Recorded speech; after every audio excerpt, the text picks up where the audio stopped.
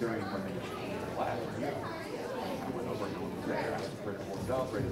We good, Max? Wonderful. Uh, the meeting will come to order. Please rise and join me in the pledge of allegiance. I pledge allegiance to the flag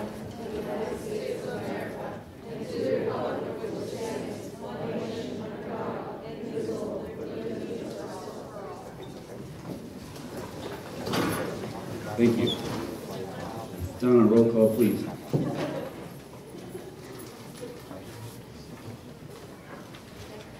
Thank you. Joe Baloi, Present.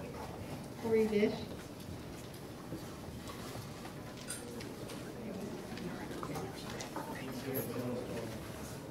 Dave Eggleton. Here. Kathy Henry. Larry Jamison. Here. Nathaniel Parker. Gary Sproul. Here.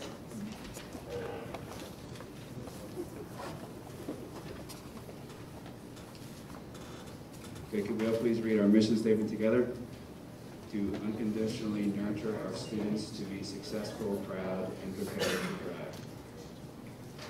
And before we get too far into it, I want to remind my fellow board members that whenever we're talking, we need to make sure we use microphones. Uh, people tell me frequently that even though people in here can hear us, people at home can't. So when we're making motions or talking about things, make sure you have a microphone or I have to yell at you.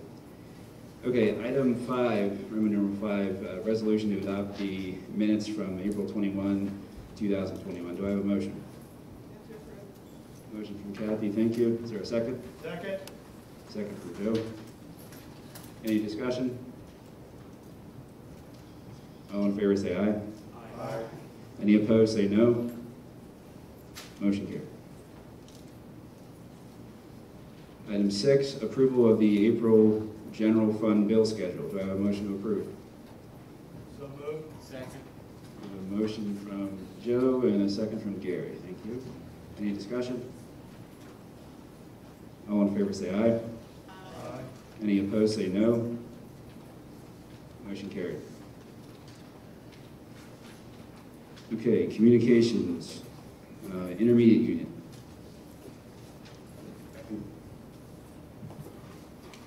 I don't have any specific update for tonight, but I am reviewing some information that the, um, Mr. Stallman sent, uh, information on charter and cyber schools and their effect on public education. I've only gone through a couple of them, there were several long uh, things that he presented to us. Very interesting, and I will forward them on to other board members as well. Thank you, Rebecca. Uh, Clarion County and Career Center, Joe.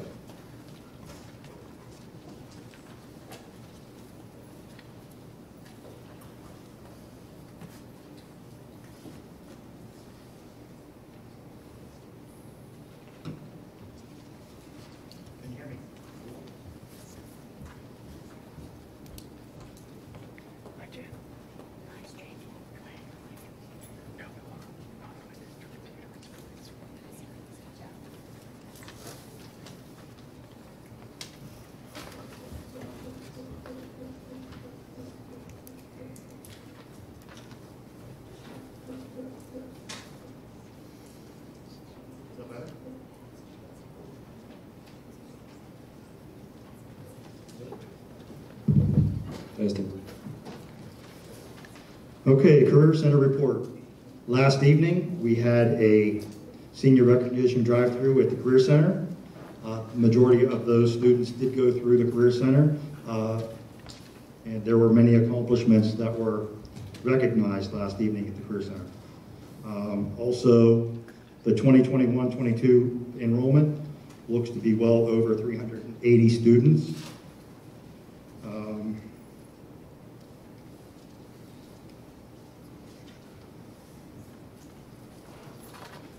The negotiations for contracts, uh, two of those have been settled, and we have two individuals that are business manager and as confidential secretary to be resolved here in the next week. Um, Under, for building and grounds, I just want everybody to be aware that uh, there was a claim uh, for the coils. uh,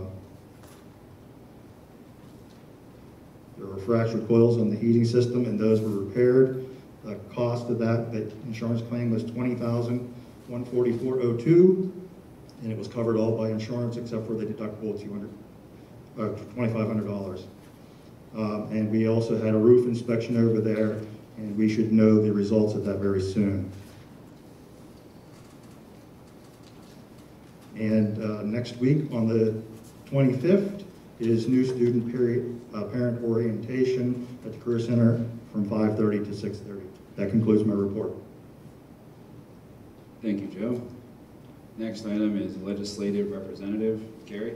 Uh, The only thing I have is that uh, it was passed by the legislature that if parents would like their child to uh, stay in the grade they're in because they just weren't happy with the progress and feel they're not ready, uh, the parents have the right to decide that.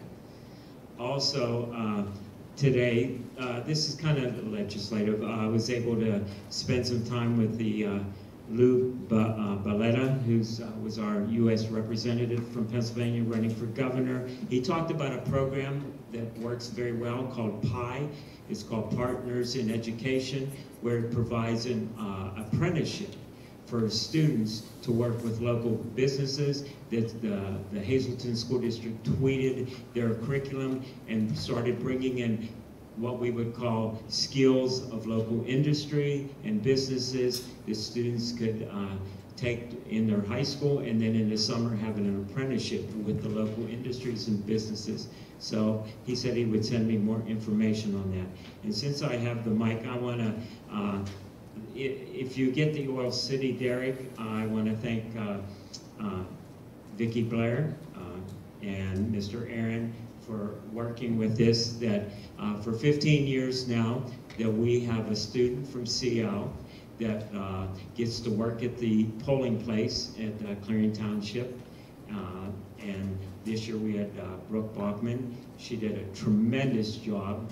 It's 15 years running. We're the really only precinct that does this, and the student is paid. And uh, of course, that was coordinated by my wife, and uh, we're happy to do this, and we want to continue.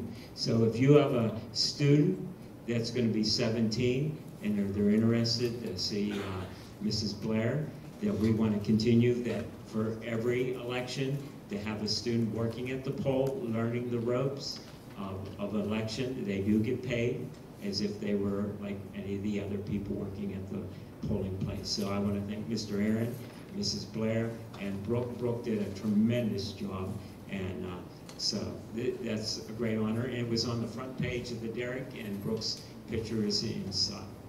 So thank you. Thank you, Gary. Next is the CLAEA E representative, Rhonda. Thank you. Good evening. Uh, We offer best wishes to Mrs. Tina Bennett and Mrs. Christy Taylor. We thank them for their loyalty to CL. We're wrapping up a very unique school year. Our membership completed all tasks assigned to us. Many lessons have been learned both literally and figuratively. CLAEA is hopeful that communications at all levels of our school district will be more open and accessible as we continue moving forward. Last month, this report encouraged CL to explore why our district is losing talent.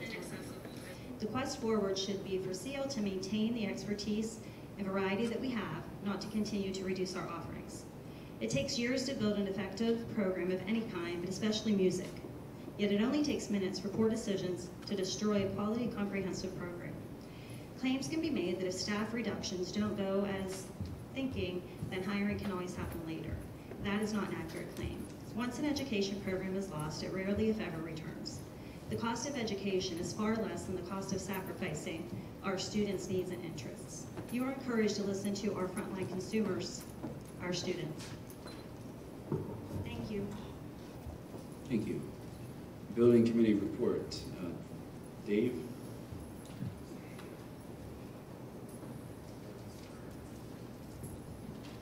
Uh, we did the advertising, right, Amy, for the, and, uh, now our next move is we're gonna set up a meeting with the Clore, is that correct, Amy? Yes, Do we have a date for that yet, or? We have a motion on here to have them come back and look at everything again and um, maintain, you know, and figure out the, the whole caboodle again. And um, we, I have him ready to present at June 23rd meeting, at our next board meeting. Okay, but we'll have a building committee meeting before that, correct? Yes, we can. Yes, Yes. we'll get that set up and we will publicize it, whatever it is set up. Okay? I would just like to let the board members know in your packet is a list of the items that the principals, myself, and Mr. Coleman um, went through at our one board meeting, so that that is there on things that we, um, our big wish lists, I guess, for the, um, the district with building so that's there. Thank you. Finance Committee, Rebecca?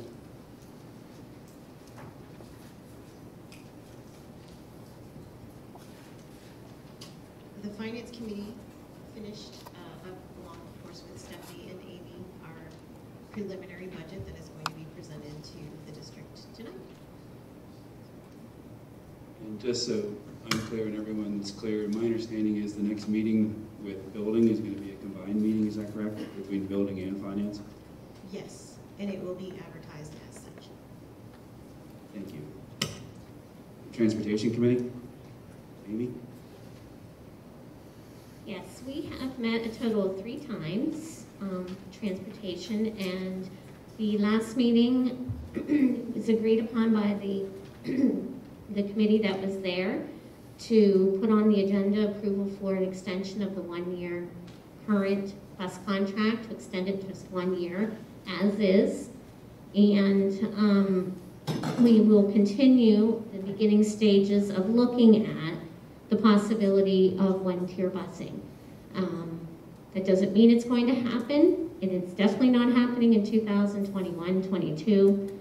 Um, We are just beginning phases of looking at the pros and cons of that, and if that is a, the pros outweigh the cons, those are the things that we will, we will take care of. But we will be having meetings between now and a year from now um, with the community as well to get your input and to share what we have discovered through talking with our transportation direct, director, our contractors, and the committee. Thank you, Amy. Uh, Next item on the agenda is committee reports. Student Board Representative, do we have? Yes, Lauren.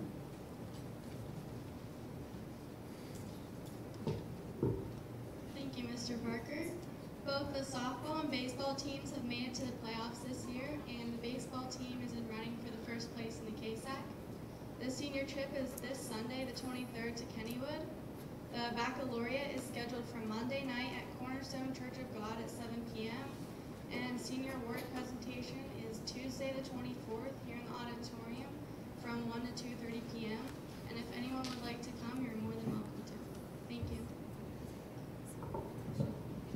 Stay right there, please.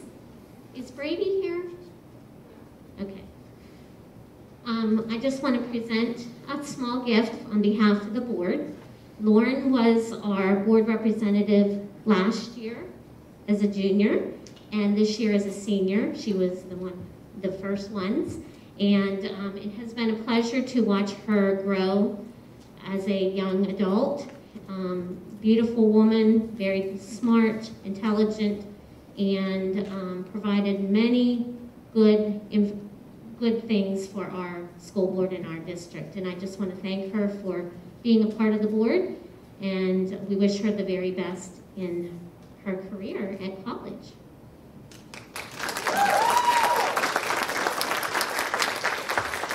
And Brady folks, he is our junior representative this year, and he has um, many other things he's doing, and has we've talked, and he has requested that he not continue as a senior rep. So I'm very happy to say that um, although we will miss Brady, and I do have a gift for him, I'll give him tomorrow. Um, we I have received five applications from junior, current sophomore, and current juniors to be on the school board next year. So um, I have ad- addressed to all of them that we will be looking at their applications, and in June, they will be appointed to the board. Thank you both. Next item, Stephanie's big night. Go ahead. Business manager's report. Thank you. I would say this is leaning towards Fisher, but it's not in that direction, but it is leaning, so.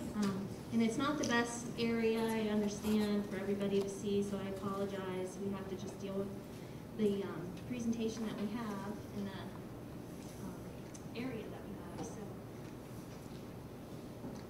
This is the first time I'm using these, so if I do something weird, I apologize. Um, But the Finance Committee has met um, on several different occasions um, for some long hours and some deep conversation meetings. There were some cuts made, but as usual, every year we ask for needs, wants, and wishes. So we do our due diligence in going through all of those 53 pages of expenses and make those determinations. Um, Also, the Finance Committee had asked this year if we could create a contingency fund, so you'll see that there is a hundred thousand dollar difference.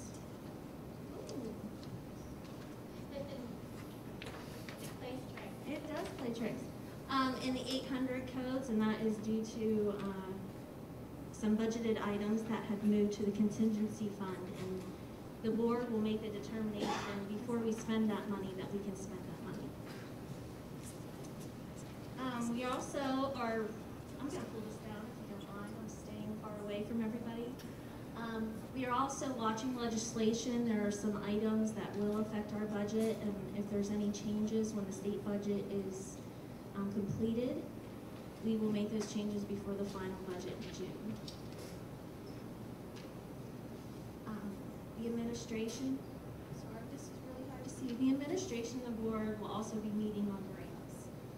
But as you can see, if you can see, maybe need binoculars, um, we are projecting a two hundred and seventy-five thousand dollar deficit for the preliminary budget of 2021-22. In the board, you each have the PowerPoint in your folder since it's so far the distance to see this. Um, the big conversation, property tax discussion. The finance committee made it a point they didn't want to raise the taxes for the community this year. Um, So this budget does not have a tax increase included in the. Um, We're just using the same tax revenue estimate for the twenty-one, for the 2020-21 budget for this one also.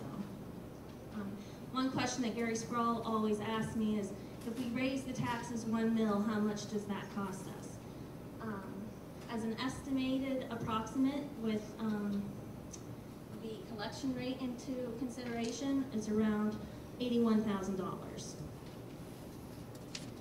For this tax revenue, I do want to make a statement that it does um, use the, the um, payment periods that have always been with our tax collections. So discount face and pen- penalty periods are the same. Um, With that being said, uh, I just want to explain, Clarion Limestone is located in Clarion County and Jefferson County. And because of school code, there's a stabilization that takes effect. So even though um, I'm saying we're not raising taxes, which we didn't, it actually will lower the taxes slightly for Jefferson County. That's due to assessed values and market values that are taken into consideration. So Clarion County is still showing at sixty point five five millage rate, and Jefferson County would be at thirty-nine point four three, and it was thirty-nine point six one for this school year. Um, For our revenue, other than taxes, because that's a big piece of our revenue, um, you can see possibly that our increased revenue is hundred thousand dollars projected for, uh, twenty-one, twenty-two. That is mainly due to, um, health insurance loyalty, loyalty program, we received or will receive sixty-six thousand dollars for being in the Highmark Blue Cross Blue Shield loyalty program. You see that in the local revenue, we will see that increase. Um, state funding, the state budget has not finalized yet. We always are required to finalize our budgets, um, before we know what the state is going to do for the school districts. Basic ed funding and special ed funding in this budget are allocated the same as prior years, just because we don't know for sure what we will get until the budget is finalized. Um, and our state share of FICA and retirement reimbursements are based on our projected payrolls. Um, federal revenue, the time, we don't have the ESSER two or the ESSER three grant written, so that is not included in this budget. So for expenses, um, as you can see, salaries make up forty-four percent of our budget. And they are all estimated on contracts. So whatever our contracts, approved contracts are, that's how we estimate what, um, salaries will be for the next year. Same with benefits, they are based on contracts and what's required for the district to provide for all employees. Um, we will see a three percent increase in our medical coverage. Um, and PSERS employer rate withholding, in twenty twenty-one, it was thirty-four point five one, and in 21-22, it is thirty-four point nine four. So the school district is required to pay that in, we do get a subsidy back, and it's around fifty-nine to sixty-two percent that we receive back in those expenses. So for the three hundreds, the professional and technical services, um, don't touch the screen. Sorry about that. Um, I forgot to mention the benefits are thirty-two percent of the expenses for the district. Um, the professional and technical services, that's five percent of the total expenses budgeted for the district. Um, this category is made up of, um, our services with the IU, our solicitor fees, our tax collector commissions, um, and required audits, um, with our tax services. The material amount in this difference, um, you can see that it decreased fifty-seven thousand dollars from last year. Um, the district did hire our security officer instead of contracted the services, so next year, that's why you're seeing a decrease in that category and an increase in the salaries and wages. For the four hundreds, there really wasn't any material, um, difference, six thousand dollars, um, nothing to bring to anyone's attention. The five hundred, that is other purchases, purchased services, and you can see that that ranks third for total expenses. It's eleven percent of our expenses. And a lot of that is, um, for the IU operating cost, sports participation fees, transportation for busing and vans, um, and sports, and other LEA tuitions, institution tuition, and cyber charter tuition. This is where I was talking that legislation could really play a part in our budget. Um, they're trying to firm a, a rate for outside cyber. Um, right now, it's calculated on our budget amounts, and um, it varies with non, with regular ed and special ed. It's, right now, we're looking at um, twelve thousand dollars for regular ed, twenty-seven thousand dollars for special ed. Um, The state is trying to make it that the regular ed, I believe, is nine thousand dollars, and then special ed will be based on a category and then a multiplier. So if that would go into effect, that would be a material difference for the district and for all districts. So I just wanted to bring to your attention that for 21-22, we are estimating three hundred and thirty-seven thousand dollars in outside charter schools.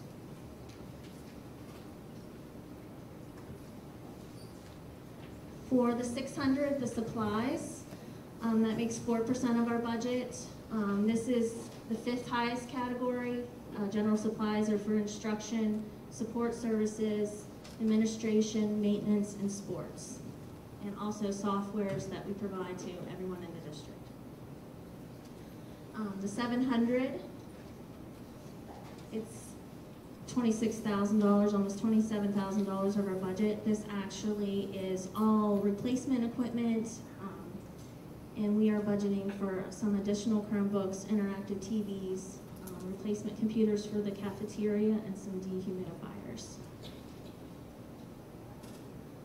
The eight hundreds, which is other, that makes up one percent right now, and that is due to the hundred thousand we put in contingency that the board has to approve before we spend. And the others are the dues and fees, um, for district employees, instructional classes, and student activities. The nine hundred object, which makes up three percent of the total budget, um, that is our bond payment for the district. And at this point in time, that is our final bond payment for the district, and that will be discussed in the building committee on when we, how we decide how we move forward um, with the projects that we will continue with. So I just want to thank everyone that's involved in the budgeting process. It is a huge process, and I really appreciate um, the administration, the staff, um, Chris Hamilton, and uh, Tricia Parker, and the finance committee, and Amy, everyone. It's, it's the whole entire district that works on the budget, so thank you.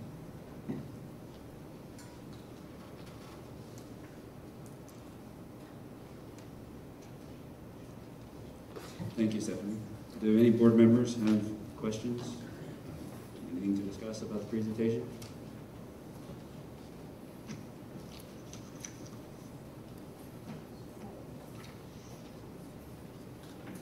Okay, moving on to item C, superintendent slash administrative team reports. Amy, starting you, I believe?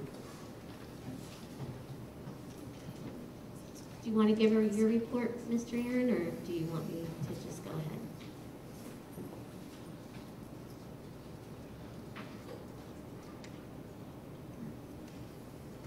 Uh, There was a message that went out today uh, that graduation will be, remain on the 27th. Uh, At the drive-in, there will be a rain date, or rain location of the gym underneath the mitigation wall. We can be able to fit enough people in there if, if needed. Um, Mrs. Taylor, um, is um, off today and tomorrow, and, um, in, just in the interim, I'd like to let you know that if there are any concerns or issues that come up when she is not here, um, they know to come to me, and I will provide some advice. And today, we had a little critter that we were trying to, to capture, so, um, we had everybody involved, Mr. Graff and Mr. Coleman. There are, there, we're waiting for them to be our heroes in the situation. So um, I do want to let the community know that the applications for an elementary principal were, re- were due Monday. We have received six applications. One person has declined, and so we were at five applications. And I will be speaking with the board president and vice president about how to continue the process of hiring an elementary principal. One other thing before I do a little presentation here. Uh, turnaround day. Everybody's wondering, what is this turnaround day on the last day of school? And it's something new at CL. I don't think anyone's going to argue about it. Um, they haven't yet. They don't know a whole lot about it, except that it is the last day of school for everybody, K to 12. It is next Friday, and the buses run as normal. The high school students get here at 7.30. They go get the elementary. The elementary get here at 9.15. Am I saying that right? Or 9. Pardon me? Okay, around 8.45. So that will happen, that's normal. But and breakfast will be served. But then the high school will stay and be released till 9:15, and they will be released that day at 9:15. So they will be with their teachers, their friends to say goodbye, sign yearbooks, do those kinds of things you do, sign shirts from 7:30 to not to 9:15. The elementary school will be here from 8:45 and they will leave at 10:30. So that will be in the next parent message as well, but um, that gives the kids some time to say goodbye. It also is um, a day to assist the teachers as it is a long day, the last day of school, when um, everybody's ready to start summer vacation. So I hope that it is something that we can begin as a tradition. We'll see how it goes and get some input. So that is what we call turnaround day. It does count as a school day. Okay, before, what I'd like to do first is, you will see up here, I have a quote, not a quote, but a saying that personnel versus personal feelings. And what I'd like to talk about first is the personal feelings of our personnel. And that is celebration of Tina Bennett. And the reason I want to do that is because she has been here very long. She has done tremendous things. She is, and I know I don't say this often, but I shared this with her personally, irreplaceable. She has created programs. She goes above and beyond. I'm not sure she sleeps.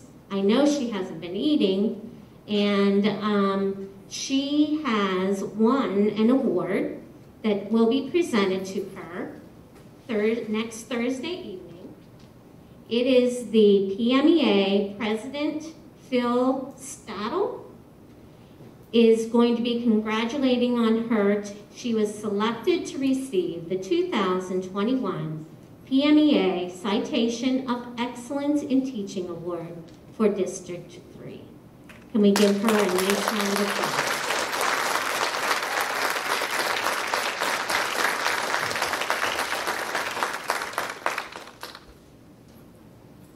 We will, uh, we will address Mrs. Bennett in, in a little while later in the uh, meeting as well, but I wanted to start with that. The other two music teachers in the department, Mrs. Emily Colson and Mrs. Jen Hubler, they are they are being empowered to take on new roles possibly, to continue the music program without Mrs. Bennett. And for them, it's got to be a very scary situation. I, I've been there, done that, because Tina has been their rock.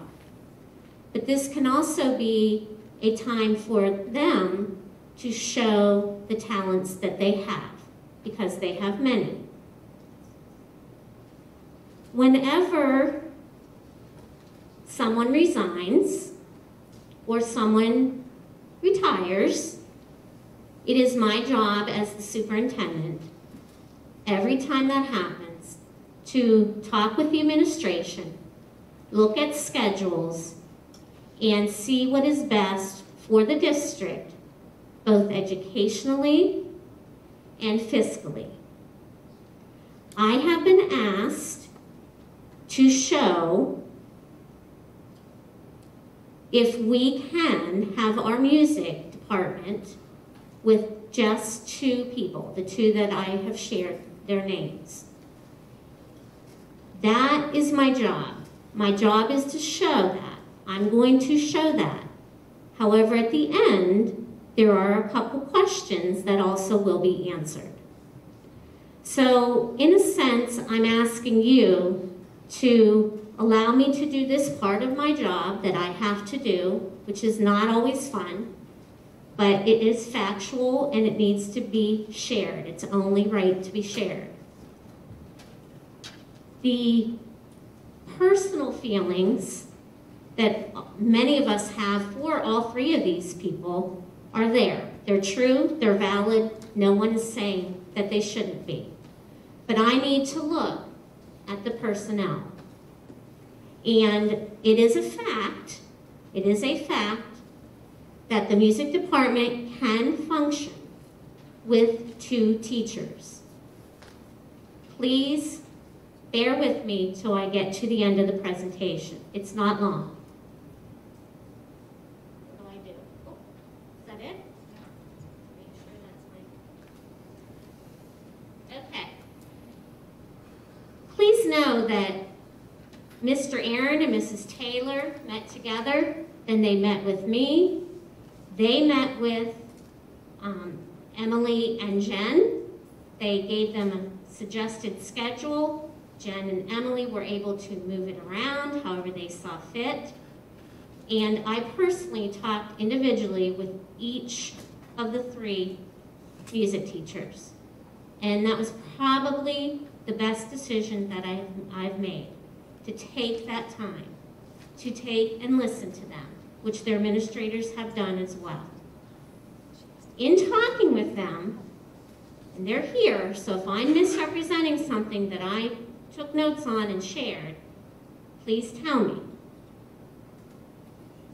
High school teacher number one, there are 10 periods.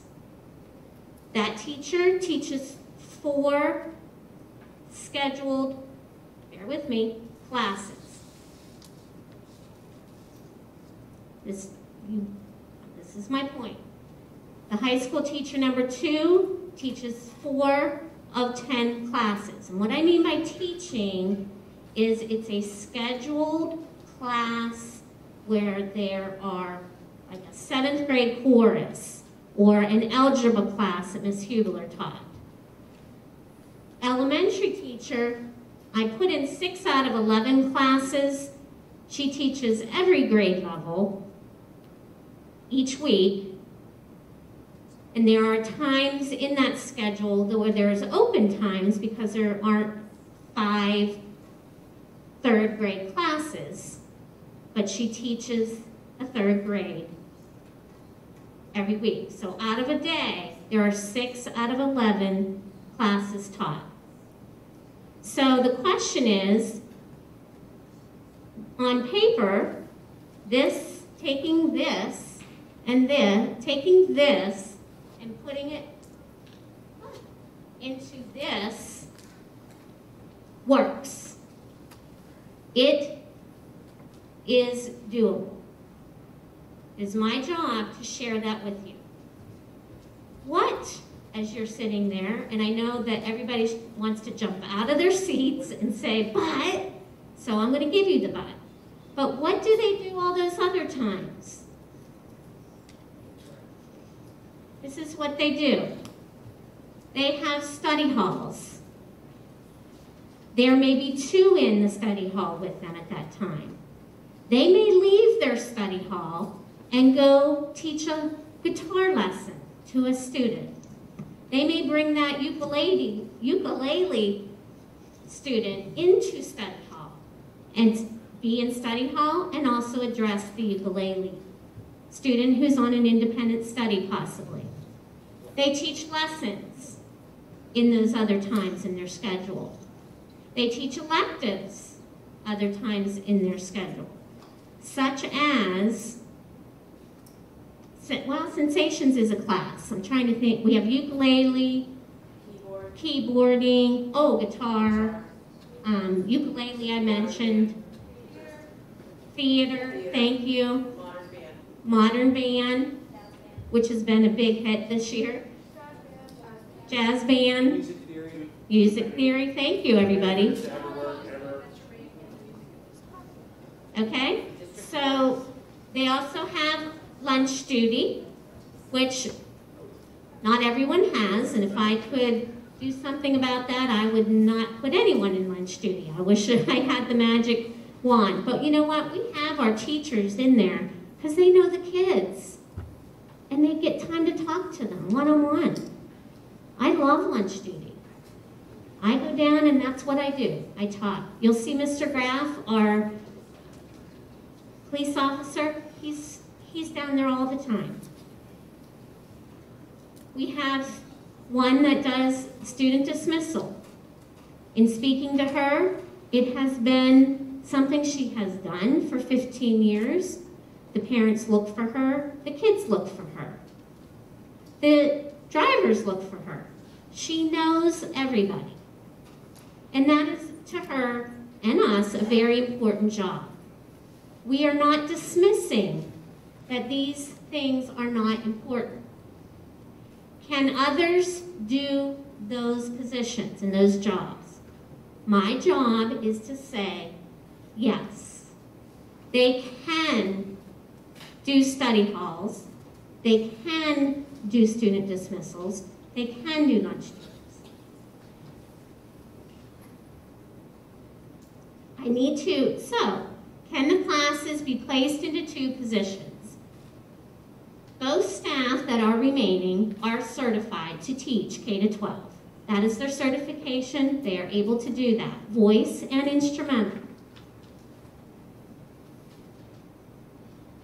The required classes for our music department are not affected. They still receive their 30-minute duty-free lunch.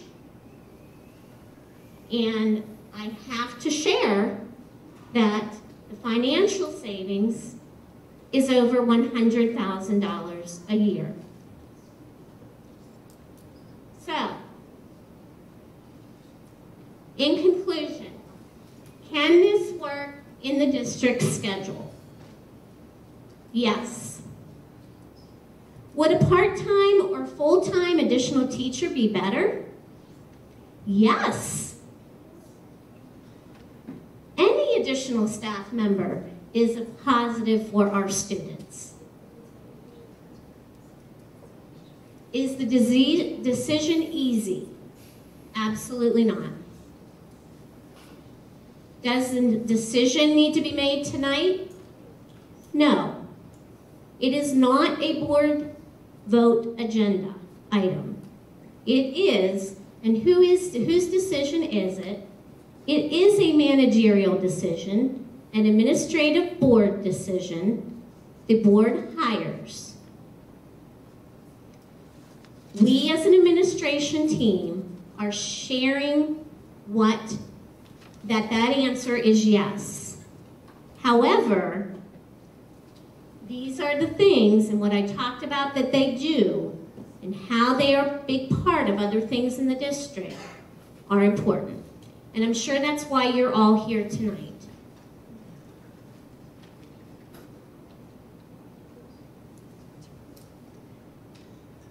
I'm just going to stop right there for that. I want to end with something that the board isn't even aware of. I remember sitting up there, standing up there, four years ago, interviewing for this position. And I remember looking back in that left corner, there were students, that was the student section. I remember the board members all in this front row too, staring at me. It was very nerve wracking. I came into that interview, I didn't have anything to lose. I had a job. Principal in an elementary school, loved it, was a school for my children. It's where I grew up, where I went to school. My kids were still there. But I came here because I wanted to help others in a more impactful way. And I remember those students sitting there. And I remember getting letters from them, the student council members. They aren't, some of them maybe are here, I'm not sure. There were, most of them were juniors and seniors. And they wrote me a letter. And they said, you are our one that we hope is chosen because you said the important words. I'm here for the students. I make every decision for students. This is the hard part of my job. This is for the taxpayers and the community and the board to understand where we are.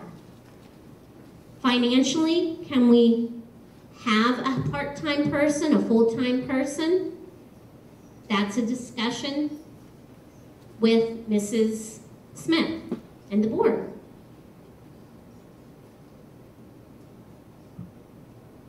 Each one of us, as I stand here tonight as your superintendent, please give me two more minutes of your time. The past year and a half has been rough for everyone. Things have been taken away from us. Things have been lost. Jobs have been lost. Students' activities have been lost.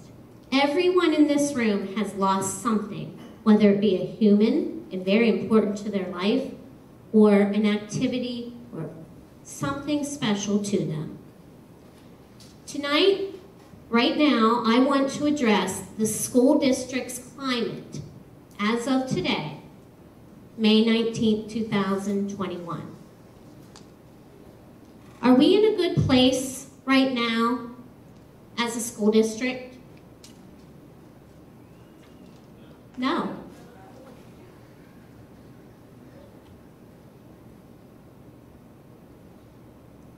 Are we in the worst place as a school district right now? No.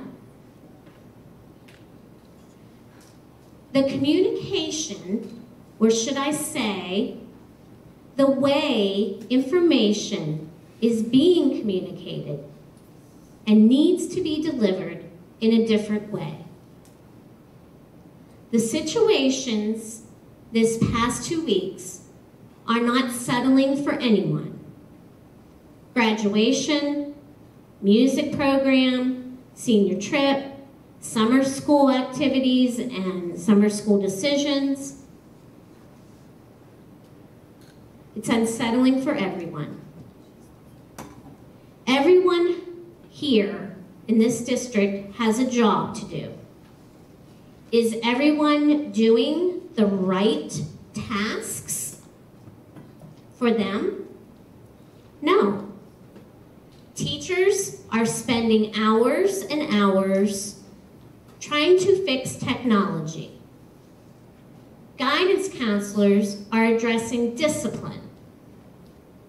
Principals are inundated with emails and phone calls to the point that they cannot get into the classrooms to see our clients, the students.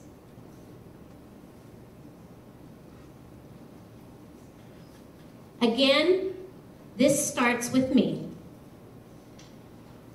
For any stress, heartaches, or emails I haven't answered the last two weeks, or the phone calls I have not returned that I am unaware of because I am very diligent with that. However, if there is any of that, and any stress and heartache that I have caused, it was not intentional.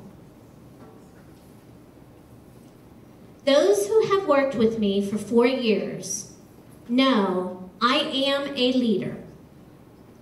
I inspire staff and students to take risks.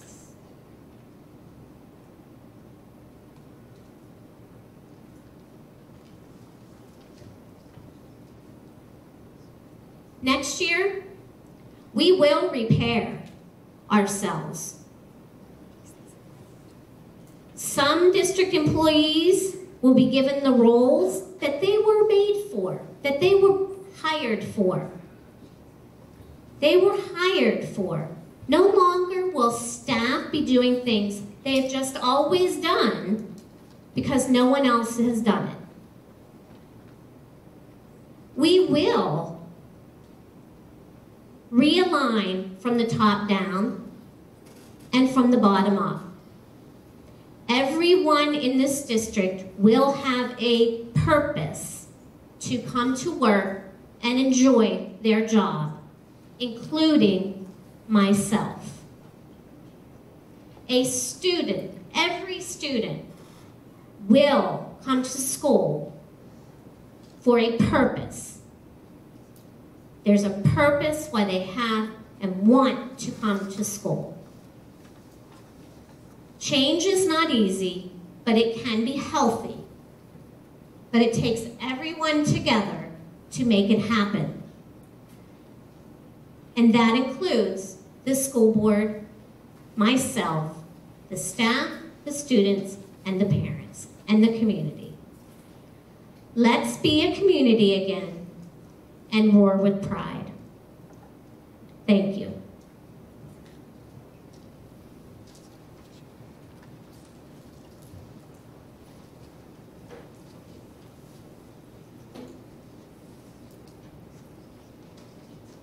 Thank you, Amy. Uh, just to recap, that was a presentation that neither I nor any of the other board members have seen. So I thank Amy for preparing that to give the explanation. I know there's been a lot of rumors and uh, scuttlebutt, people talking about what is going on. We've all heard, just like you, what the explanation is, the rationale, the logic. So this is the information sharing point from Amy. I'd like to ask board members, does anyone have any questions for Amy? And I want to keep in mind, everyone needs to understand, there, as Amy indicated, there is no agenda item on our motion, or on our agenda tonight. We are not voting one way or the other, to hire somebody or to not. We are going through the process. Amy has now explained what the administrative team has done. Now, you as board members, are there questions that you would like to ask of Amy concerning the information she shared? Is there more information you'd like her to get? Do you have questions about what she said? This would be the time for you to ask that question.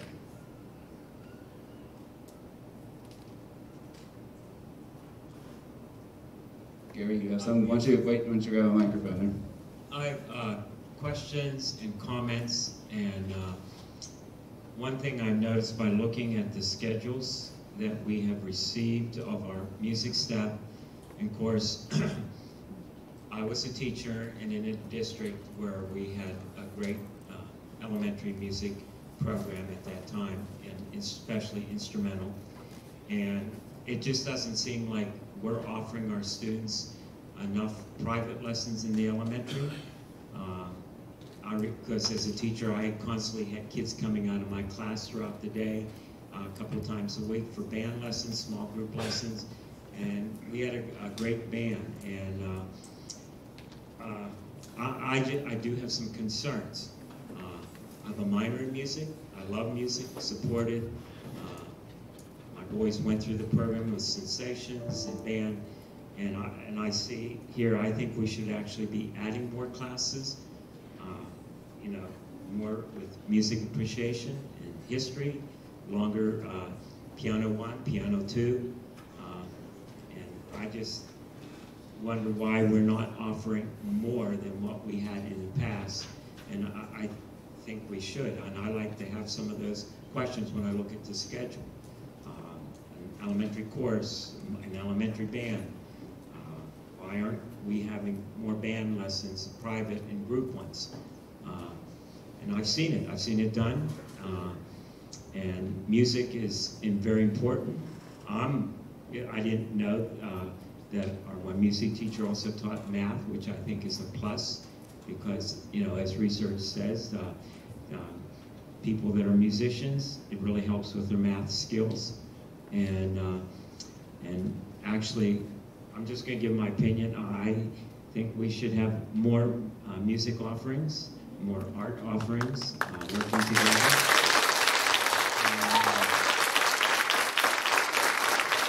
That's my professional opinion. I'm a musician. I have 36 credits in music. I have a minor in music. And uh, I think it's very important.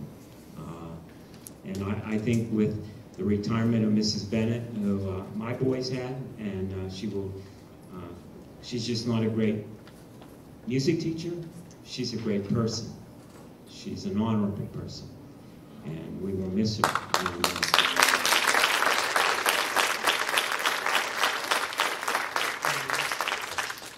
I'm an advocate for, for you know, this uh, program. And like I said, I was a teacher at a bank and I saw what we did. And we had, uh, Mr. Twilliger was, is a great uh, band director and I think maybe we should get some information how they do it. I think we need to offer more, not take more away. As, a, as an instrumentalist, I played four instruments. You wouldn't want me to teach your vocal. I was not a vocalist. So if I could summarize, Gary, what you're saying, I, I think we Is- need, but I'm just saying, what I'm saying is, I understand what they're feeling as a musician myself, and I think, I know what our administrator, when you re, have a retirement and you replace someone, you are making savings there.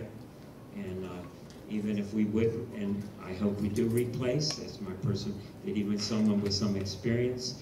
And, uh, so I would like some questions of why we haven't been offering more, uh, with those classes. the question though, I think what you're getting at, because again, the whole point is to share information, because there's a lot of, my perception is, there's a lot of people that think that we as a school operate behind a curtain, and, and we're not sharing information, and we're, we're doing things in secret. And my, the whole point of this exercise is to openly share what has happened, what the thought process is, to not claim that Amy or Mel or Chris or or anybody has exclusive rights to saying what happens and what the right answer is, is to be open and be, I've encouraged them since I started in this role, to don't be afraid to make a mistake. But share your ideas, throw it out and if somebody has something to add to it, we can make it better and we can be better as a whole. So we, to take what you're saying as a constructive way to move forward, you're saying let's look at course offerings. I don't disagree, because one of the, my understandings, and I don't know if you covered it, Amy, but my understanding is you're not talking about taking away curriculum. Is that correct? The required courses, the required courses are not taken away. The required courses they have to have. That's like one course. So then the issue would be the elective courses, then, correct? Correct. Okay, so what we need to do, you're saying, Gary, is we need to take a look at what the course, the elective course offerings are, what our numbers are, what we're offering, and how many students are taking that. Right, we need, you know, uh, maybe adding more, uh, you know, I- when I looked at the schedule, I was wondering, because I had parents contact me, even before this issue came up, that their kids love to sing, but they're not dancers, and that's why some of them maybe didn't try out for sensations. And I'm wondering, maybe, you know, we should also, you know, uh, have a, just a regular high school choir, ten through twelve, you know? You know, there's a lot of guys don't want to be moving their legs and stuff up on a stage. I'm just saying that, but I'm wondering why we haven't in the past, not knowing what the schedules were until recently, uh, in which I've seen Okay, from. Gary, I think, Mel, did you want to add something to that? Yeah, Gary, if you remember on, on some of the past board meetings that I have since in the last three years brought to you five different music electives. We have, we've put in five more music electives. We put in two new art electives. Um, we renamed with Mrs. Irby, worked on uh, renaming three of them so that it could include more students. And, and you know me, I, I, I I went through the same programs with, with Tina Bennett, tried to do half the dance moves that they know. You hear um, Jazz Gloria kick in, and, and I can probably do the whole routine. Um, we're, we're just running into we don't get the numbers. What, what I'm trying to present to you is when we do a, a course load, when I run it, after, in the first run, we have to, we have to knock out something. I knock out some business classes, I knock out some art classes, and what it is is, and, and probably Mr. Stampus and I are not doing what you guys want us to. We're, most schools cut out a class if they don't have at least eight students. I will tell you right now, Jeff and I sit down, and if we have three students, we try to run it to the next run, hoping that we can somehow pull another kid in. But I can't run, I can't run a electives uh, consciously with the, the amounts of money that you guys spend on, on personnel with one or two kids. Like that's, that's the, I, know you're saying about private lessons, but I don't feel comfortable as administrator using taxpayer money to pay for private lessons.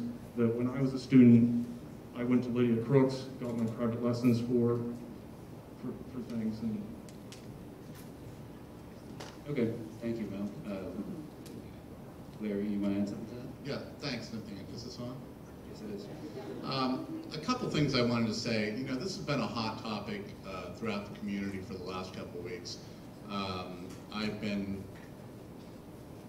I've been pulled aside a couple different times, and that's fine. uh, when you, when you get on this board, and even though I'm on it as an interim, that's, that's fine, you know what you're in for. The, the one thing I didn't appreciate um, is being told by someone that the board had already met on this subject. Anyone that knows me, and many of you do, know that I have attended numerous board meetings over the year. I have been at that microphone, and now I'm at this microphone. Let me assure you, I am the very first person, correct, Nathaniel, to rail on That is correct. sunshine law. And I will assure you that there has been no discussion by this board, as a board, if, if individual members have discussed it. Kathy Henry and I were at the polls yesterday when I, when I was done voting, we talked for about five minutes or so. Quite frankly, the person I probably talked the most to about this subject is Rhonda Shook. And my friend Rhonda and I um, had good discussions. We didn't always agree, but we weren't disagreeable to each other. And I think part of the key tonight, while I expect a lot of comment, and I think that's wonderful, I'm glad that people are showing up, not just for athletics. And, and let me tell you, when I was in high school many years ago, I was an athlete, but I was also in the choir. And I did a lot of things in the choir, and it was very important to me. So I know the value, I, don't know where Tina is. Um, oh, oh, way up there. Um, but I know the value of a music teacher. Believe me, I do. Um, I think that we need to look at this a little bit more. There are definitely two sides to this. We cannot ignore open classes with nothing going on. Mel just made a statement about having a certain amount of kids in a class. I would ask if, with all due respect to Ms. Pierce I see back there, if you had one class, one person sign up for calculus next year, would you run the class? No, we would, we would not run it in person. Right.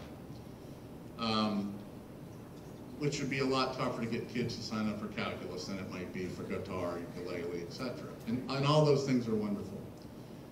But my point is, when people come to make make their comments, please let's have civ- civility. There's been a lot of uncivil rest in our district the last several weeks, and uh, look, I'm a big boy, I can take it, but let's let's have a discussion about things. Um, that's all I have for right now. Thank you. Yeah. Kathy, would you like to ask a question? Um, this is just a, a question because of something that was presented to me and I'm just wanting clarification. So sometime back, when we had a retirement of an individual from the music department, we then had two teachers um, covering the music department, is my understanding. I wasn't on the board, so I'm trying to like piece it together. Um, so when, at that point in time, when we had only two people because of a retirement, um, when did we add the third person? Um, I'm not sure if I'm gonna make this clear because, did we, why did we add the third person? And how long did it take to get the third person and was it, what changed from then till now? Does that make sense what I'm asking? That would be a Tina Bennett question, I think. Okay, sorry, I thought you were shaking your head, Mel. I didn't want to put you on the spot. I'm right here, and I can tell you that I had to teach from three to three thirty every day. I started here at my normal high school time and ended at the elementary time with no compensation whatsoever. The problem was, I started the year and we found this out literally days before, and I had to add the fifth and sixth grade uh, curriculum over there, get my head wrapped around that, and the fifth and sixth grade choir, and my father-in-law passed away day three of school.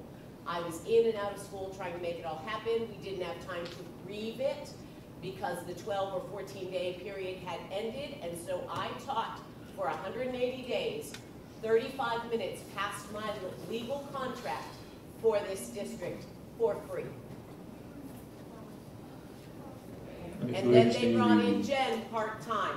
It's my understanding that, correct me if I'm wrong, Mal and Amy, that the schedule, Ms. Smith is referring to is not the same as what you're proposing now, is that correct? Yes, um, there's two different schedules. There's one that I presented to, with Mrs. Taylor to the, to the two remaining, or two remaining, uh, music teachers. Uh, then we worked through some of the stuff that they were asking. I, I know Jen really wanted to be able to do elementary school band. Uh, Mrs. Alderton was, uh, because of fifteen years, she's really helped with the after-school dismissal. I worked it around, um, I'm not quite as thrilled with the, the second one with theirs, but it does fit their schedule better. Um, there's one less elective doing it that way, doing it the way they wanted to, but they, we have one, a person who has a high school schedule, we have hours for the elementary school schedule that we know they're working over. Thank you. And again, does anyone else on the board have questions? Because the whole idea is to, if there's more information we need or other fact gathering that we need that's the whole point of this exercise, is to see what that is. Does anyone else? Dave? Nathaniel, I'd just like to say, you know, I was lucky, I was on vacation last two weeks. And, uh, not rubbing it into the rest but. The board needs more information on this as far as, I, I'd like to know all the electives that we've offered, the interest in them, what we're gonna lose by doing and, and then give us all the information that we can make a qualified decision, not a snap decision. That's why it's not on the agenda. I think Tina needs to be part of that discussion, along with, uh, the other two music teachers, with the administration, and they need to come back to us then. It's not our job to set up a schedule, it's our job to hire a teacher and to take care of the students and the tax dollars. So I think they need to get together and then come back to us and tell us the pros and cons right down to it, so that we can make a good decision on what we're going to do. Okay, anyone else have any questions? I mean, that, I think mirrors what Gary was saying too, as far as the schedule, I think we spent it too. So we understand that the schedule, the course offerings, those are key things, we have that, uh, taken care of or addressed. Nathaniel, I just have one more Yes, comment, I guess. I don't believe, Dave, with all due respect, that this is a, right now at least, is a board decision. We're not voting on No, anything tonight. no, that's not what I'm saying. Okay. Get the information. We got a month back to and let us know, you know, but we want all the information. What the kid, what the students are losing, exactly how it would work. And I, I agree with Gary, some- a lot of what Gary said, which is unusual. Uh, But at the same time, at the same time, a board can only make a good decision with the information that they're given. And we can't get one information from there and here. Our information has to come from the administration. So the, the teachers, the music department, everything need to get together with administration, sit down as a group and tell the board, we know the numbers, that's our job. But tell the board what that savings is gonna cost our students. Well, I think, if I understood the presentation, it sounds to me like there's been not one, but two different times that the administration has met with the music teachers. So I think they've already started that process. I think what we're looking at is, and I think it doesn't have to end here tonight. If, if people in the public, if there's something they think that there's a concern or an issue or something that's been overlooked, that's the whole point, is contact the, your- the teacher, the administrators, whoever your comfortable contact person is, to get the information back so it goes through the chain of command up to Amy and her team, and they can make a modification if they need to, or if they want to change their recommendation to us, they have all the facts, because that's the whole point, is to be transparent and That's, to make sure we have that's have my whole everything point right there. And I don't disagree with you, Larry. Um, we're not gonna make a decision. I mean, we're here to listen, but at the same time, we need all of that. I, I wonder, wi- and I don't know if this is appropriate, or maybe they were planning on it, if uh, Jen and Emily are here, if they, I, I I would be curious about their thoughts. I kind of accidentally ran into each of them when we spoke for just a couple minutes, but, uh, and, and Emily, I haven't been out to breakfast in I don't know how long, so I can't believe I saw you this morning. But I think that if, if you have any, I, I'm really curious what both of your thoughts are. I know a lot of people have said, are we still gonna have sensations? When I was in high school, which is somewhat irrelevant, but we didn't do all the dancing and stuff. Um, you know, we stood and sang, but it was hundred and twenty people, so it wasn't as conducive to moving around. And he brought his award to the budget committee meeting to Very- show us he was a very musician. proud of Musician, just so you you all know. Because we questioned his singing ability, so he brought his little statue. Well, I will say I'm very proud of that, Dave, because I went to district, regional, state, and all Eastern. That's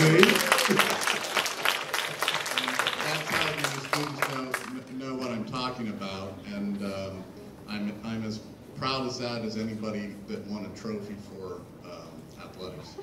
Um, So. And I- we're proud of him. There, there's an opportunity, if, if you want to take it, you don't have to. Let's, Larry, let's do public comment all at once, because we need, we need to do this orderly and run it through. Um, And then we need to address that, because if everybody wants to talk, that's not gonna happen. We're going to have to modify the meeting. So we'll need to address that. Is there any other questions from the board as far as the information being shared? One question about the schedule. Uh, How do we run an elementary band at seven twenty-five in the morning when elementary doesn't even start then? I- I just, I'm wondering how we do that, and I- I just, why can't it be done during their school day? What's your basis for that, Gary? What are your, I don't understand what you're talking about. at, uh, Just a possible maybe schedule?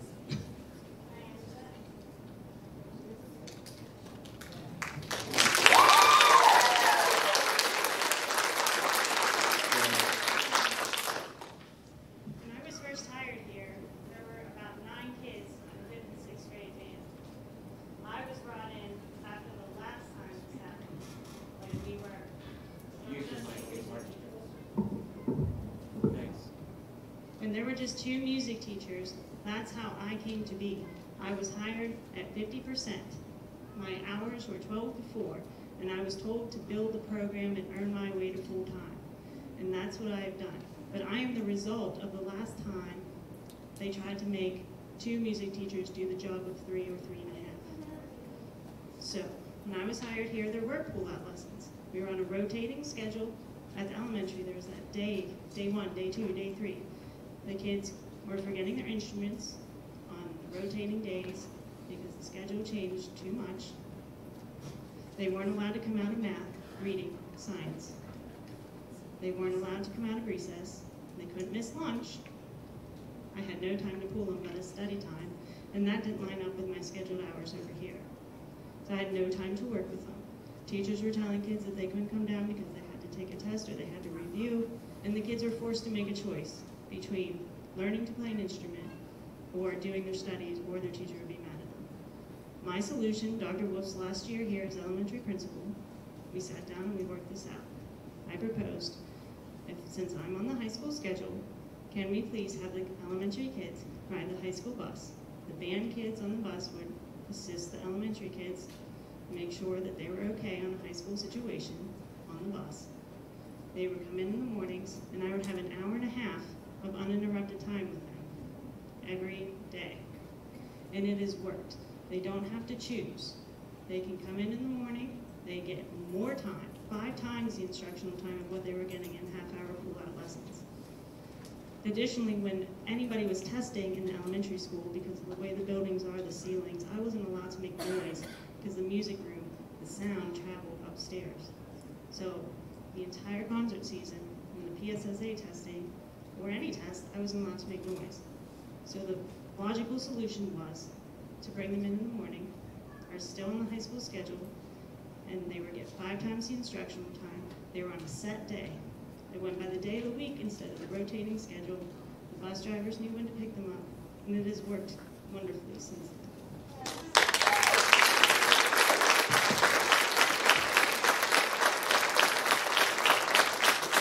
Thank you. It's. Any other questions from board members? transportation. I- I'd like to ask Jen, Jen, can I ask you a question? Uh, Why weren't students allowed, uh, coming out for lessons? I, I want, I'd like to know that. I'm not sure. That's just what I was told. Just out of curiosity, by who? Who told you that? The administration at the time, Who in particular? Thank you. Okay. Amy, do you have anything more on the superintendent administrative team report? I have something that I'd like to ask the board about and throw out there. If you guys recall back a, a year or so ago, when everyone was at home on the, uh, on YouTube, we had a lot of discussions with Mel about his, his contract and his position, and Mel has, has been very gracious and indicated, and Mel's gonna get a chance to talk to, I'm not gonna shut him off, so if I said anything wrong, Mel's gonna correct me. Um, Mel has agreed to serve as high school principal, even though that may not be his exactly uh, dream job, and we appreciate his sacrifice and his service. My feeling is that I think we should honor his request to try to work with him to see if we can find a way to get him back into the classroom. And I think that the first logical step to do that is to post for a high school principal.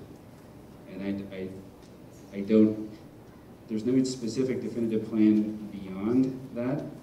We are not forcing Mel out, that's why I'm talking about this now in a public meeting, so that the rumors hopefully uh, won't exist, or they'll be right instead of totally wrong like usual and just post it and see what we get. And then we as a board can decide, and Amy and the team can decide whether we want to make a move, whether it does, it is something that Mel wants to do. But if we don't at least post and see who's interested, we're never going to do that. And I, I would hate to see Mel feel like he has to go to another district if he really wants to be a teacher. So if, unless somebody has a major objection, I thought, think we should at least post the position. And before you talk, I'd like to just throw it out to Mel and just have you, if I'm totally crazy and you don't want this, Mel, you tell me. No, I, we, You're on. we've had discussions before. I know that I've met with the board on various occasions, and I've met with Amy on various occasions, and uh, when I entered this, I, I was very pleased that the board gave me the opportunity, um, filling in for half a year for Doug Rogers, and then um, with the transition of superintendent and with Mr. Rogers leaving, I, I again expressed to the board at that time that I, I want to help out the district wherever I can, and that's, that's what I've done the 19 years that I've been here as, a, as part of the staff. Um, but I, I do want to express to the, board right here that I, I do have a passion for teaching. Um, I, I need to get back with the students more than what I am. Um, the current role is not, not, um, not ideal for my family either. So I just, I, I completely understand from just doing business with you guys. I understand that we have to wait, we have to be patient, we have to look at what all's there, but I do want at least, uh, this board to know that, that, that is, that, and, and I, and I'm glad that Nathaniel brought it into a public forum. I don't know if everyone's still knows that this is what my desire is, because I don't get to really talk to them that much, but, uh, Well, thank you, Mel. And again, that is the whole point. I want to be transparent. Uh, I don't want to see Mel go anywhere. That's my thought. And again, that's I'm being transparent and honest with everybody. And I think that would be the best move for the district, so that we're trying to honor his request, thank him for his service, and that's how I see us moving forward. Does anyone have a problem with that, Larry? You want to? I don't necessarily have a problem with that, but I- first I would like to state, this is the first time we heard this. This was not discussed, Th- th- we're- this is all new to us. I, I talked to Mel about it. Okay. And I talked to Amy about it. And, and keeping in mind the thought process, I think is very good. My only fear would be um, putting, putting out requests for applicants that you don't hire. Because I think it potentially shoots us in the foot for hiring down the road. In theory, I like the idea, but I'm, I'm afraid if nothing happens, you might lose a good candidate in the future for the fact that we didn't hire anyone. What do you, you mean if we put the, um, If we, if we advertise for a principal position. and then don't hire anybody, you're saying? Yes. Right, well, I guess that's the point of this discussion, is if the majority of this board says, no, we're gonna make Mel stay principal no matter what. No, I'm, there I'm would not be- saying we're gonna make Mel stay No. I'm just saying, there would be no point in posting, that's kind of the point of the discussion. But if people are open to that possibility, then we would post it, and then theoretically, if we get a good candidate, then the board would make the decision as a whole, uh, to, as to what to do.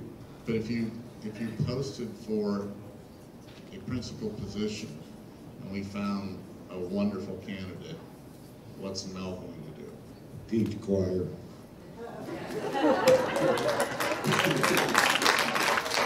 That's, and that's, that's the part I think we have to build, we're trying to build trust here too. We need transparency, we need trust, and that's what I'm saying, we wanna work with them. I mean, I can't, no one can sit here and tell them out, we guarantee you this spot, that spot, these duties, that duties. Like Amy was saying, every decision comes up, it's fact determinative. You have to look at a lot of factors beyond just the emotional, well, yeah, we want this.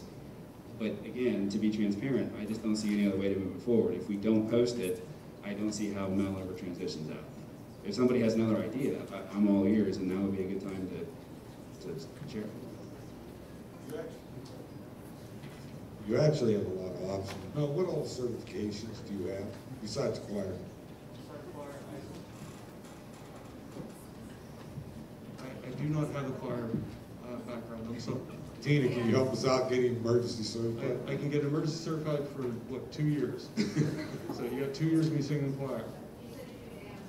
I can dance. I'm gonna question that. Yes. I learned all my dance moves from Tina Bennett. Oh, wait, she said I can't dance? No, um, I have a, a social studies degree and then I have my principal certificate. So I, I can do K through twelve administrative and I can do, uh, seven through twelve, any, any social studies. But, and, and I see where you're going with your point, Larry. We're bringing in two new principals. You know, obviously, we can't pay for three principals. But we would have a period, we'd want to have like a mentor type to get them used to the building so that it comes out good in a good way. So I think we gotta think outside the box. But I'm kinda like the thing, I, I don't know. I was on the board originally when I was hired. And as a social studies teacher, those of you that know it, and this is not a cut on anyone we have, he's the top. He really is. And I don't want to lose him as a person, he's a great person also. So I think we gotta look outside the box, and if willing to work with us, it's worth the discussion to open it up with him. On the board? I'm Daniel. Um, Corey, thinking go about, ahead, Corey. just thinking about what you were talking about there. Um, you know, I'm, I'm not saying I disagree with what you're saying, it's a good idea. Um, we would have to find a position for Mel, you know, if you want to keep him in the district. And, uh, with him being a social studies teacher, I don't know if there's any, I asked him if there's any current openings, he said no, but I don't know if there's anything in the future too, possibly. Um, and just throwing this out here, too, just thinking off the top of my head there, because I know, um, and I, am Melanie be interested in for like an interim time for him to continue to stay as a CL employee. Um, I know both, uh, well, I can't talk, both principals have asked for a dean of students, someone to help. If you'd be willing to serve in that position in the interim, and then whenever an actual position opened up from which he could put in for, and then he can go in that position and in that time frame that, if it's a year or two years, that he serves as the dean of students or whatever you want to call it, you know, then he can maybe, he can bounce into that position and go back to what he really likes to do, and that's an idea. I agree, Corey. I think it's a good suggestion. I don't think you're far off from what Dave Eggleton is saying, is there, there be a, the possibility of another administrative position to transition. Um, Kathy, did you want to be heard on this or no? I didn't know if you were grabbing your microphone or not. I'm just not certain. I, first of all, Mel, I don't want you to go anywhere. So I just know that up front. whatever. I, I think that you can do this job and, and do it very, very well with the support that you need from the board and, and everybody else that's on your team. Um, but I don't want to disregard what's in your heart either. Um, my only concern is the district looking for two principals at the same time. I'm not, I'm concerned about if that sends a negative message to the community in the surrounding area, like what's happening at CL that they're now looking for two principals, like, you know what I mean?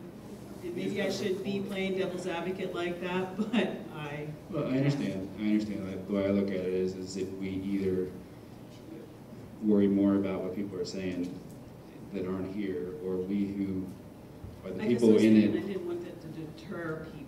from what applying. Y- Yeah, just like, because they're wondering if there's something internally going on, and that's why.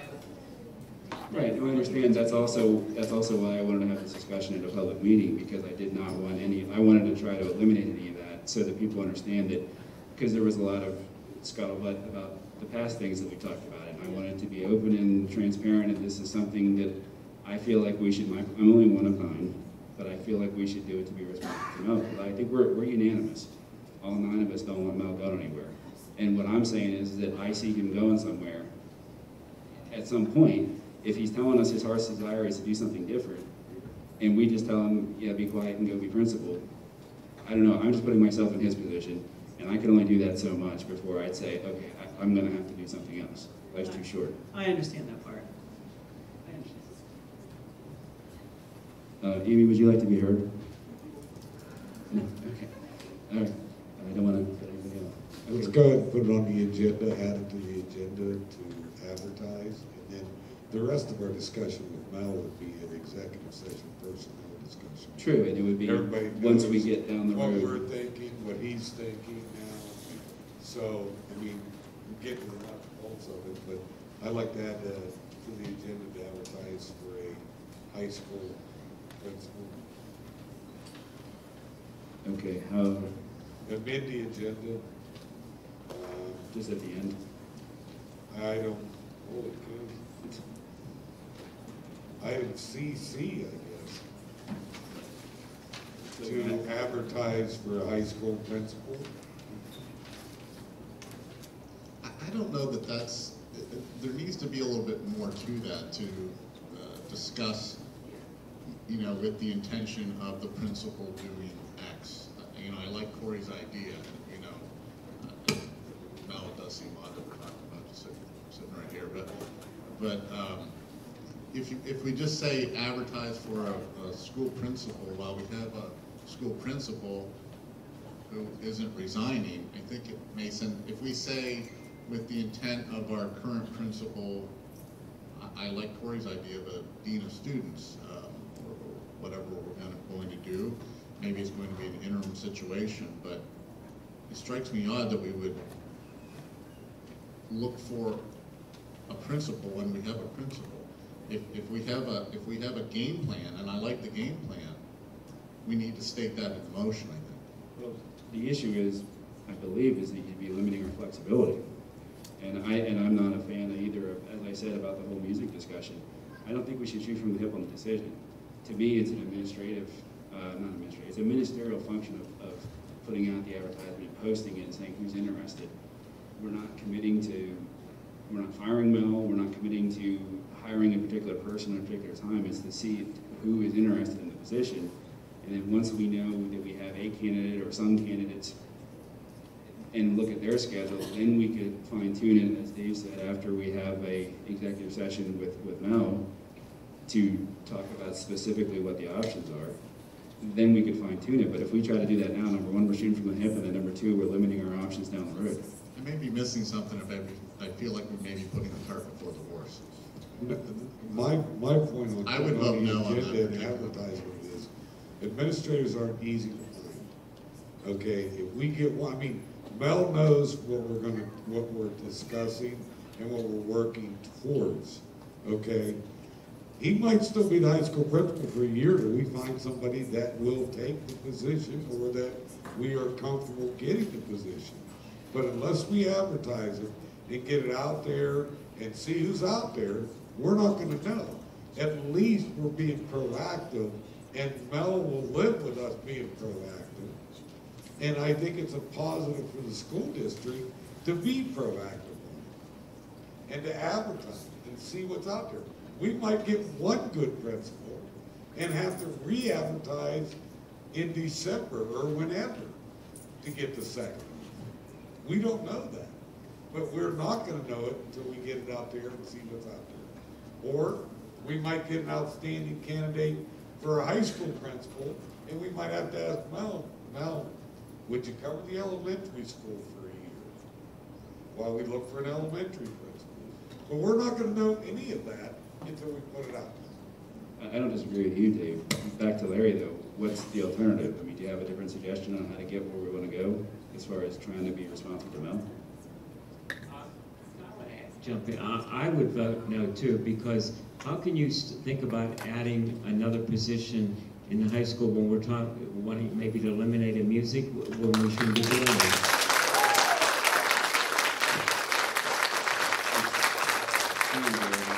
We're not talking about adding a position. I mean, but that's a possibility. I didn't hear a board member say anything about eliminating the music position. And nobody's adding a a principal, that's, I, I think those are two separate issues, um, and, and we're not proposing, I mean, no one's proposing to Yeah. hire two high school principals at the same time. It, it's again, it's a, to have an But, organized so- so let me ask this, if, if, if you advertise for a principal and you find a good one, well, however good is defined, um, are we definitely hiring them? That would be a board decision. So let's say the board says, boy, we love this person. Um, Are we hiring them? And then at what point, or, or at what point is the discussion with Mel? It seems like a lot It all of happens at the same parts. time. To me, it's all part of the same plan. I wouldn't do one without the other. You'd have to have a whole plan figured out to accommodate Mel and then hire the other person. And, and I'll, I guess my only last comment on it is that I feel like we're, we're starting down the road without a plan. I mean, I'm all for it, I just think we need to have a plan. And if, we- if we can get a plan together, I don't know, I'm not like, disagreeing like, like Dave said, I don't know, if the issue is, is that the options are to do nothing and not, you're not responsive, or to give ourselves options. So, I mean, I'm only one person, so you guys can vote it down and say no and tell Mel he has to stay principal. I mean, that's your prerogative, that's what you want to do. Um, But if we don't, if we don't do anything, I don't see that as being an option, in my opinion. So that's why I'm asking for alternatives, if there's alternatives to it, um, I think we should talk about it.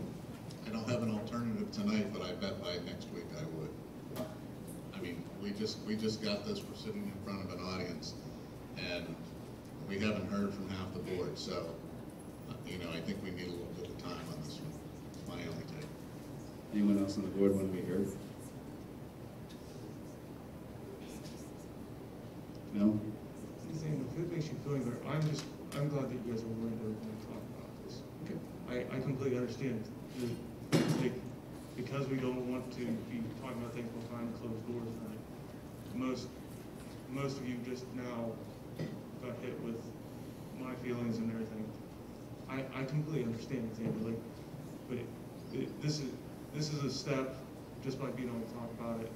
If, if you're worried about how I'm feeling, I, I understand this may not be the best time to do this, do anything with me, just to get the district, again, as when Amy and I both were hired, I told her, "I- I'm here to help you, I'm here to, like, I've been in CL for how many years as a student and as a teacher, use me as that type of information.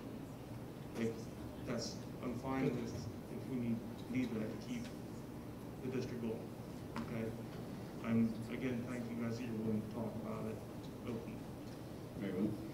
And again, I, I mean, we talked about a year ago, Mal, that's, that's how I look at things. Uh, To me, a year is an eternity, and we, a year ago, you told us all, it wasn't secret, you told everybody what your desires were, and nothing happened since then, so I like to be, uh, responsive, but Dave, you, do you wanna make the motion, withdraw your motion?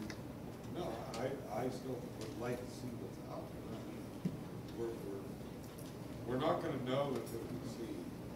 And I mean, so I'd like to keep the motion for CC high school principal to advertise for one, just to see what's out there, and um, then go from there. You know, um, so we see what options we have, and go from there. Okay. All right, uh, Dave has made a motion to amend the agenda as he stated, item CC. Is there a second to the motion? We have a second from Rebecca Allison. Is there any further discussion among the board? Yes, Kelly? Mel, as I said, I don't want you going anywhere. Um, I think we, we should take a lo- a little more time and I think we, there should be, uh, some kind of preliminary plan before we go looking. I'm not against it, Mel, looking at things, that's where your heart is. Um, I just don't wanna jump the gun and be advertising for something when I wanna know where you are because I don't want you leaving this district, okay? That's the only reason I'm making that suggestion. Understood. Any further discussion?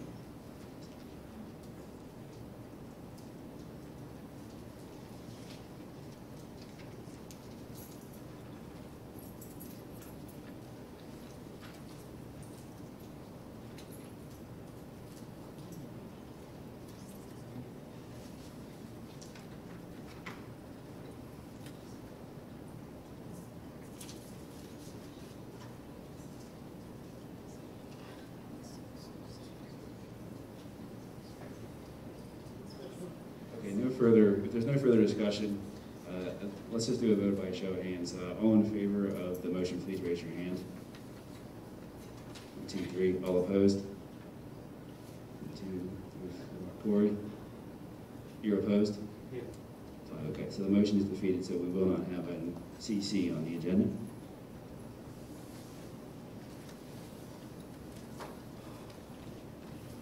If there is no executive session, we had no executive session, so there is no executive session announcement.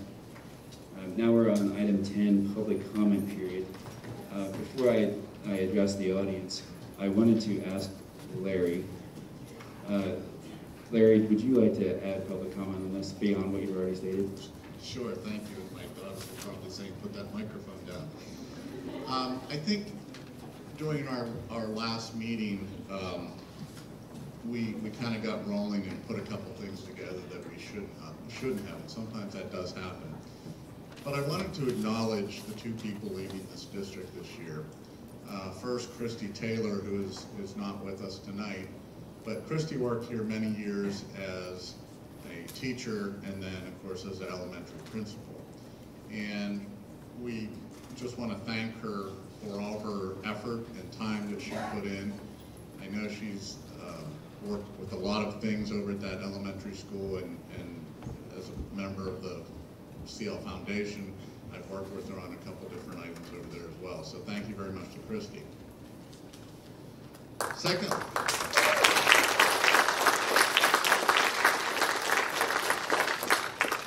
and the woman of the hour, Mrs. Tina Bennett, who has given 37 years, I believe, to this school district. As I stated, I know the value of a good music teacher. Um, it's something you can give your whole life. And I've seen Tina over the years work with kids and bring kids out of their shell. Uh, I can assure you, every singer is not a soloist. And I hit see some head shaking. Uh, I never was. And what Tina has done with some kids and putting on shows and, and having them sing, let alone dance. Uh, and God bless you, Tina. You know, thank you very much for what you've done for everybody over the last 37 years. Uh, it's, it's, you know, interesting that, that our own high school principal, I believe, was a sensation back in the day. And, uh, but what you have done should, should not be glossed over, and I just want to thank you. I believe the board thanks you, and um, we appreciate everything you did.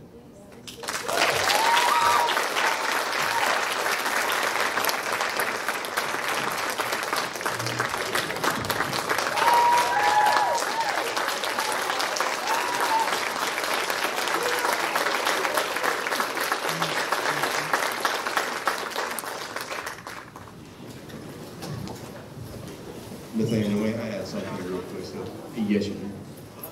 I will, uh, I'd like to add uh, Kathy Schaefer to the mix. She's a paraprofessional, she's retiring as well. Um, You know, that was, that announcement was made a couple of months back at a board meeting. But I do want to say uh, a a very heartfelt thankful, thank you to uh, Kathy for many years of service here as a paraprofessional, working one-on-one with the number of students that we have had and uh, making sure that those students have achieved success.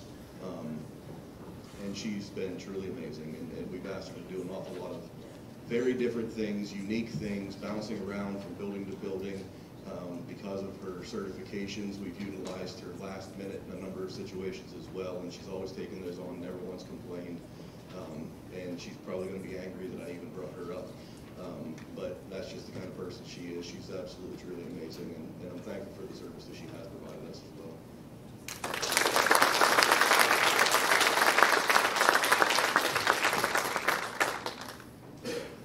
And thank you as well. And Amy reminded me that we do have a hanging basket for Tina. You say it's outside. Amy? Up right. All right, now, the public public comment. Uh, By a show of hands, who is interested in making public comment? Okay, I'll start with you, young lady. Could you tell me what the subject is that you'd like to talk about? It's about music. Music. By a show of hands, who would like to talk about music? Okay, hands down. By a show of hands, who wants to talk about anything else? Okay. Okay. Um, It is eight fifteen, so a lot of people want to talk about music.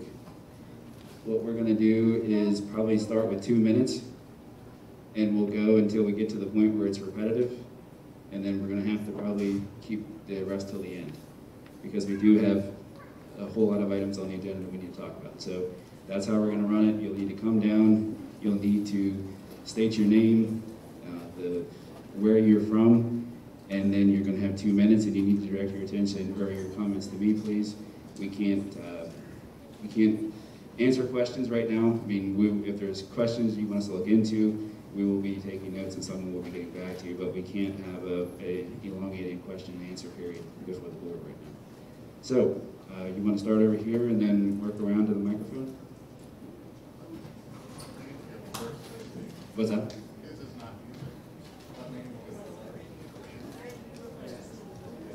Okay.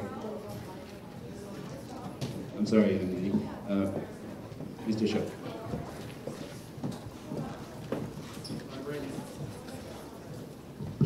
I'm Randy. Shook, uh, Clarion Township. Um, I'll speak as fast as I can in two. Uh, First of all, uh, nothing against Mel, because in my job, I work with Mel part-time, emails back and forth over student issues. I think we're deflecting, though, from what we're dealing with, with Mrs. Bennett, Mrs. Hubler, and Mrs. Consider Alderman. We had no discussion whatsoever for very long, other than Amy's display here, about replacing the music teacher. But we suddenly out of the blue now have an agenda change and everything about Mel. We don't have a position for Mel. We could have put him back in the classroom when Mr. Dulovich retired, but we didn't. We eliminated that position. So we're going to create a position and pay Mel, no offense, and eliminate a position and not pay somebody. And there was a comment made. There was a comment made that by a board member that maybe these two ladies should take it as a promotion when they're going to split that job in half. They're not getting more money though. A promotion that I get, I get more money. And also, they're instrumentalists. Their specialty, and I sent this to Amy today, is instrumental. Nathaniel doesn't defend murderers. He has a different specialty, but he's a lawyer. They're teachers. They're not vocalists. A Ford, a Ford auto tech can't do my Dodge because he doesn't have that specialization. Those women do a great job, but they're not vocalists. And Tina wasn't asked to be the band director before we hired Jen, in lieu of a band director. So there was no band. So keep that in mind if you could. Yes?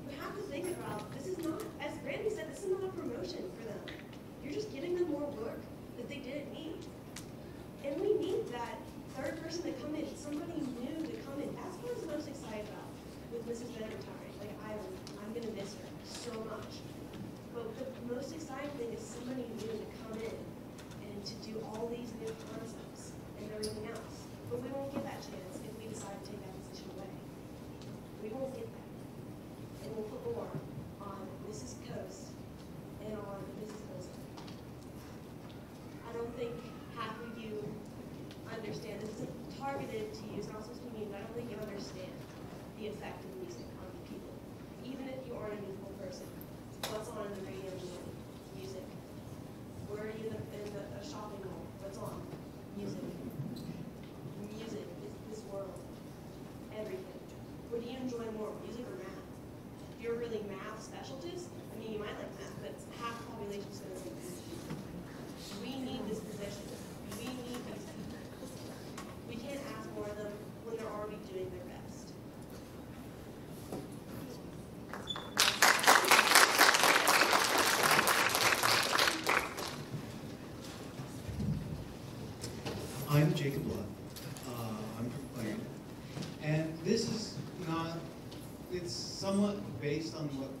said, but this is more technical. Um, I, as an instrumentalist, I play percussion. I play most of the percussion.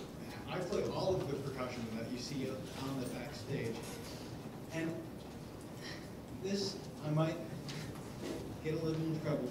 I never really liked Mrs. Colson's class.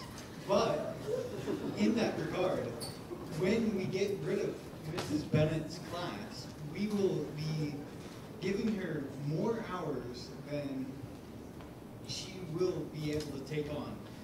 And with that, I've heard that they're going to uh, compose, uh, not compose, uh, reduce uh, both the seventh and eighth grade classes to one class with uh, uh, all the students in there. And they would have completely different uh, opportunity than what we do now. Um, we would also be getting rid of, I know this is less of getting rid of her, but if we went to um, one like schedule for the busing brand, we would be getting rid of all of the beginner band and all of the advanced band elementary, which a instrument, uh, wind, uh, wind instruments usually takes two to three years to master completely. And they would have to start from scratch over at the high school with no prior knowledge of having the instrument. And I would say it would be much easier to learn it over there with you having less homework, less complicated homework, than starting a completely new instrument, having to practice Eight that's your two?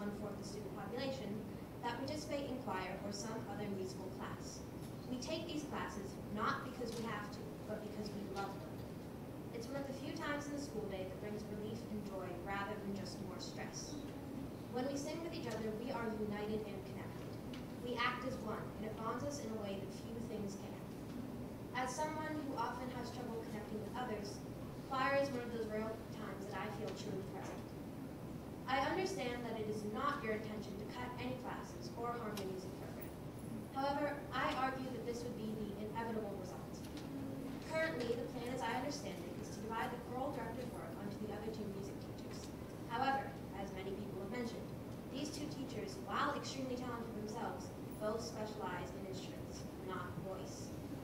Not to mention, they both already have an enormous amount of responsibility and stress. At best, these factors combined would create a weaker version of what we have now. At worst, the music programs would slowly fall apart. One thing mentioned was the topic of scheduling. The choir teacher only teaches four class periods.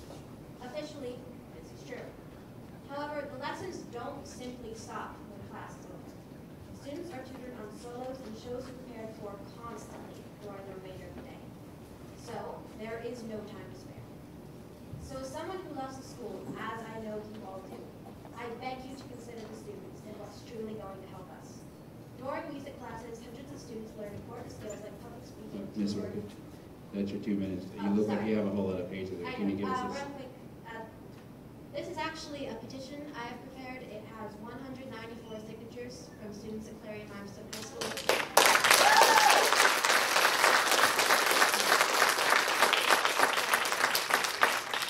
Thank you. Those 194 signatures are begging you to please replace the choir director next year. Thank you. Thank you, Ms. Orchid.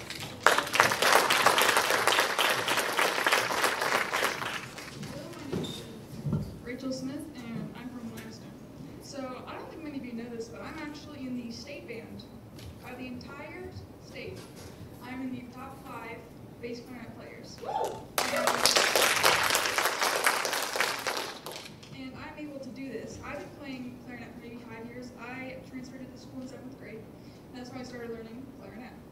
I started learning bass clarinet about a year ago. And since that time, with all the tutoring I spent with Mrs. Hubler, I've been able to become able to be in the top five of our entire state. I'm actually going to be recording my audition for East, All East, All Eastern this Friday. So I just thought it'd be really important to say that her position is very, very important to keep. Because because of this private lessons, I'm able to, not private, but these lessons, I'm able to achieve this entire goal by myself with her.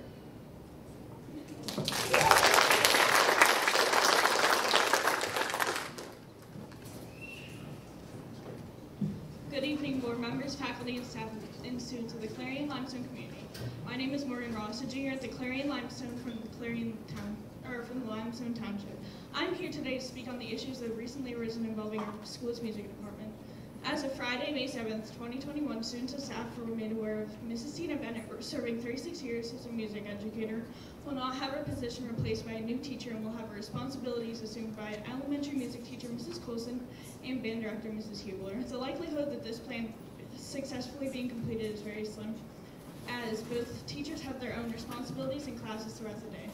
Now I understand what some of you may be thinking at this point. You may feel that we can just cut those classes and they don't matter anyways, and that's why I'm here tonight. I'm here to let each and every one of you know that with this mindset and how wrong and senseless you sound to me and my classmates. To start it off, I can imagine that, oh my gosh, you feel as though I'm undermining your opinions and disregarding your suggestions. By doing this, I'm putting you in the exact same position that you put our music department in every year when we fight for our rights for our budget and keep our program afloat. I don't want to seem like I'm coming off as rude or biased, but the fact of the matter is, that the way our program has been treated, we are not surprised that Mrs. Bennett will not be replaced. In fact, we've known and discussed it many times. We hope and pray that things would change out of the goodness of our administration's heart, but I suppose not. Back on the topic of Mrs. Bennett's position being filled by Mrs. Colson and Mrs. Hubler, has our administration even considered what an impact that would make in both of these teachers' daily lives and schedules? Have we considered actually asking them and giving them their opinions? Absolutely unfair and unjust. For those who think the music doesn't matter, it's unimportant, I do have a few questions and comments for you. When you get in your car, do you turn on the radio and listen to your favorite station? When you turn on your television and gaming systems, do you, do you hear the amalgamation of chords and notes? When you watch a movie, movie, do you feel affected by the soundtrack or small tunes for emotional value? And if you're not a movie watcher, the same goes for video games. Does it add any effects to you? If you answered yes to any of these questions, well then I have news for you. Music isn't unimportant. It teaches each and every one of us every single day whether you realize it or not. Finally, to close my argument, I want to thank Mrs. Bennett on a personal note. She supported me every single step of the way through my music career, from spring concerts to all Eastern ensembles. She helped me and my classmates, classmates way more than anyone can imagine. During 2020 and 2021, when the coronavirus, pandemic hit, we lost all forms of our concerts. We couldn't perform for anybody, and that's not why we're in band. We, we're in it to perform, not rehearse. And thanks to Mrs. Bennett, we were able to have performance Fridays and pregame shows. I don't think you guys really understand how much that meant to us and to have our small performances again. It really meant the world to us. Without someone to hold Mrs. Bennett's position, we'd lose all of that again. All in all, I want to thank Tina Bennett for all that she has done for our music department.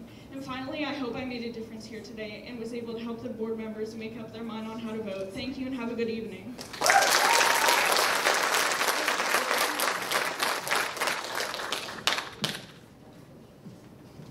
Good evening. I am Janelle Pizzuti, and I'm a senior at Clarion Limestone. I am a current member of Sensations in the Tri-M Music Honor Society. I would like to encourage the board members to plan to hire a new music teacher to fill Mrs. Bennett's position. Clarion Limestone has been able to provide students with inspiring opportunities outside of course content, thus producing students who are successful, proud, and prepared to thrive as the mission states. The variety of enriching courses, such as those taught by Mrs. Bennett, provide students with new opportunities for learning. However, putting the responsibilities of Mrs. Bennett's position onto others who also have many other responsibilities is unrealistic when considering such daunting expectations. It takes a dedicated teacher to be able to run Mrs. Bennett's position. Their attention must be undivided towards this subject in order to successfully enrich the students who are involved in such musically oriented courses. Music education provides an outlet for student creativity and is paramount to child development. Not only does it enable students to develop areas of the brain related to language and reasoning, but it also assists in the development of social skills. Such traits, such traits are essential to developing versatile students. By investing in opportunities for students to seek learning content other than that of core subjects, a well-rounded student body in which is prepared for the future will be produced. According to the Clarion Limestone Area School District website, part of the school board's mission is to ensure that all students are prepared for college and a successful life academically, socially, and emotionally.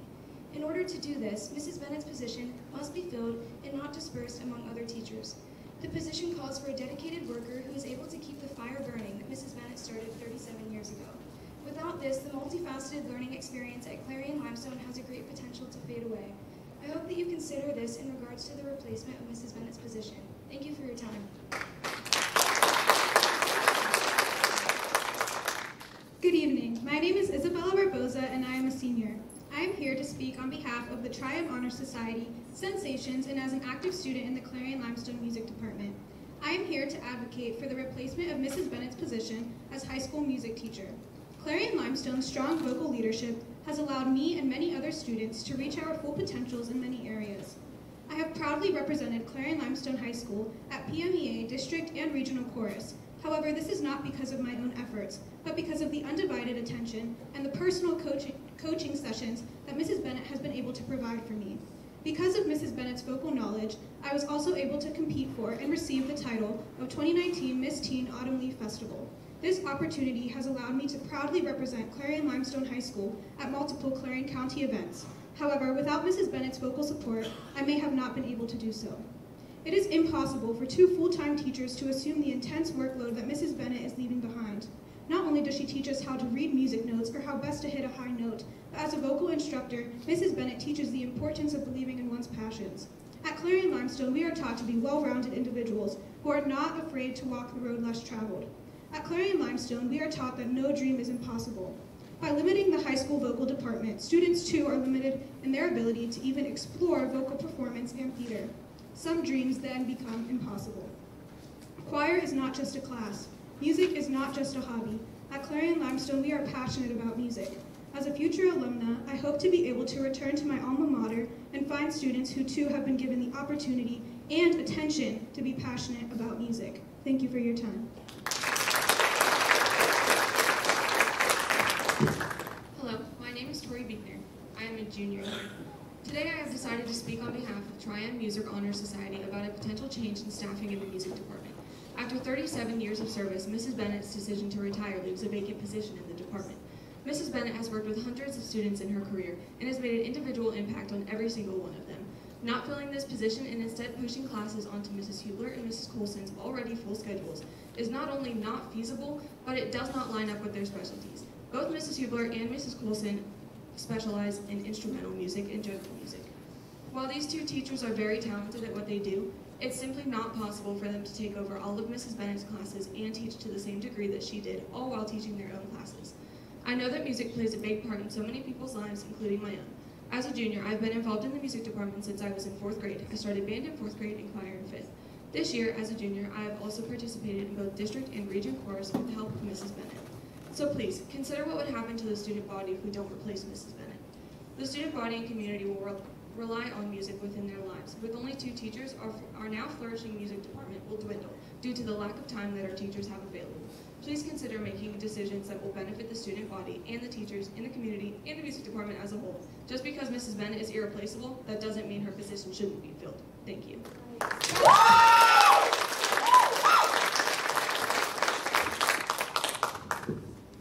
Hello, my name is Maya Shook, and I am the current junior class president here at CO.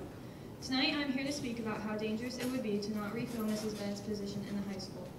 While the program might be able to function without this teacher, it will not be able to strive. Without this position, not only will there be a large void in the music department, but the types of creative arts, like guitar and keyboard classes at the school right now will start to be lost as well. Types of activities and events will have to be sacrificed because there is not enough time in the day for the two current Current music teachers, Mrs. Hubler and Mrs. Colson, to take on the immense projects that Mrs. Bennett would do daily. They will physically not be able to fit everything into their already busy schedules, which will cause the electives to disappear, which makes possible opportunities for students disappear along with them. Also, by cutting this position, scheduling issues will start to, start to arise.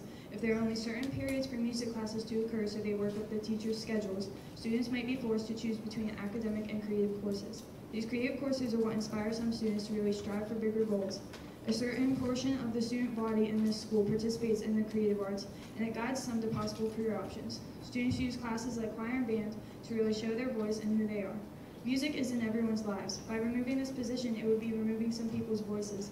Without that voice, there is no outlet for people to have. Everyone has a certain outlet that is directed towards music, because music is in everything. There is never a moment where music does not impact the soul of everyone. So, so I am going to leave you all with this quote by Plato that truly shows just how much music does for everyone. Music gives a soul to the universe, wings to the mind, flight to the imagination, and life to everything. Thank you.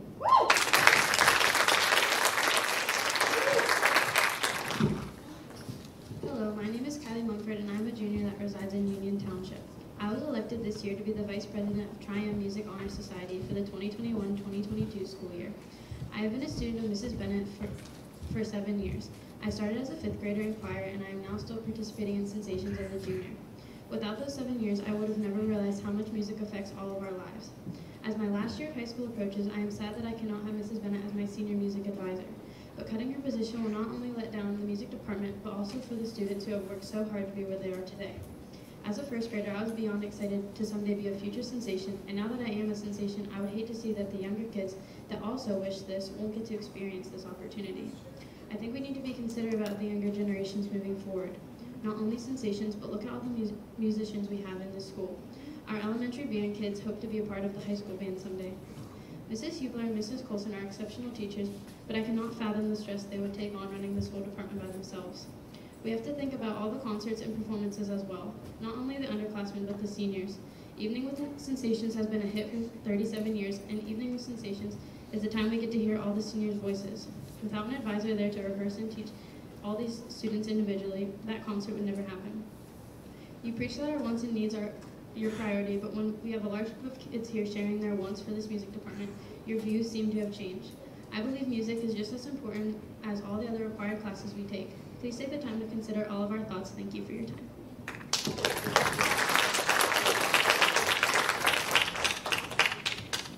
Hello, my name is Taylor Yates, and I am a that resides in Limestone Township. I'm speaking on behalf of the Tri-M Music Honor Society and the impact of Mrs. Bennett in the music department at Clarion Limestone.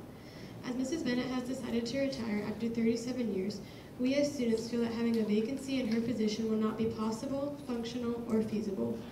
Leaving her position empty would not only hurt our music department, but would quite frankly be an insult to all of the years that she has put into making this school what it is today.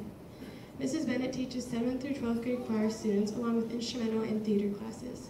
It is not right nor fair to allow these classes to be passed on to Mrs. Hubler and Mrs. Coulson to take on with little to no time left in their schedules. Don't get me wrong, these teachers are great, but the time, effort, and logistics of this is not possible for any person, no matter how great of a teacher they are. The only other option would be to cut these classes, and you have stated yourself that you have no plans in cutting any part of the department. I have also been involved in dance team for five years, and Mrs. Bennett is the leader of that activity. Seeing that being put on the chopping block honestly saddens me, even though I won't be here next year to participate. I am not one to speak up much, but when there is something I am passionate about, I will use my voice and state what I believe in. Thank you.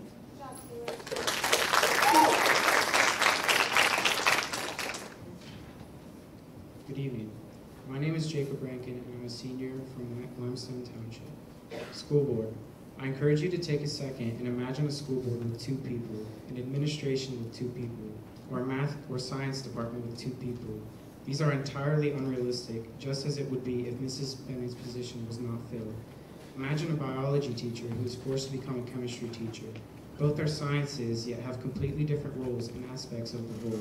This is the same in our current situation, and that Mrs. Hubler and Mrs. Coulson are both instrumentally oriented, while Mrs. Bennett is vocal. This, this would create a tremendous conflict if she was not replaced. Simply put, music is the universal language.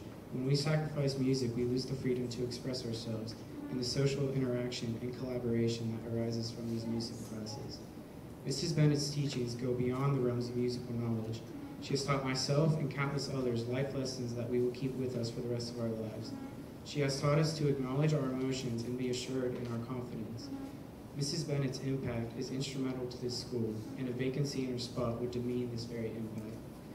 While her character and impact may be irreplaceable, her job position is not in the slightest. With that, I leave you with this. Even if the loss of a music teacher may function, will it thrive as your mission statement calls for? Thank you.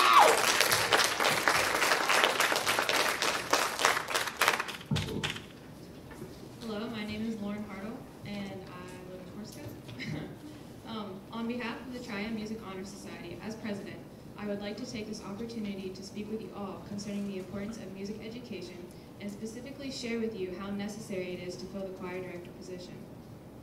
The subject of music is introduced to kids in elementary school thanks to Mrs. Coulson and her general music classes. Her classes, starting in kindergarten, teach children information about music, composers, instrument families, and even attempt to have them learn songs and dances. Further knowledge can be attained during high school where students are not only required to take general music courses in 7th and 8th grade, but they are also encouraged to take other classes such as band. Many kids find themselves electing to take even more music classes that are available such as music theory, instrumental lessons, and advanced choir programs such as Sensations. Mm-hmm. This is the result of their interests being piqued during their early exposure to music. These music programs have been provided these music programs have provided students with a creative outlet that would not have been possible without the music education they received from all three teachers individually, Mrs. Coulson, Mrs. Hubler, and Mrs. Bennett. For nine years, music has been a key part of my development, and this is thanks to Mrs. Hubler, who has dedicated her time to the band program. Similarly, as I cannot speak for those who have been a part of choir programs, I can assure you that Mrs. Bennett has worked equally hard to ensure the success of her students. With that being said, Mrs. Hubler, Mrs. Bennett, and Mrs. Coulson have all worked with each other to provide students with the chance to be a part of all of the music education programs available. They have established a way to divide the demanding workload.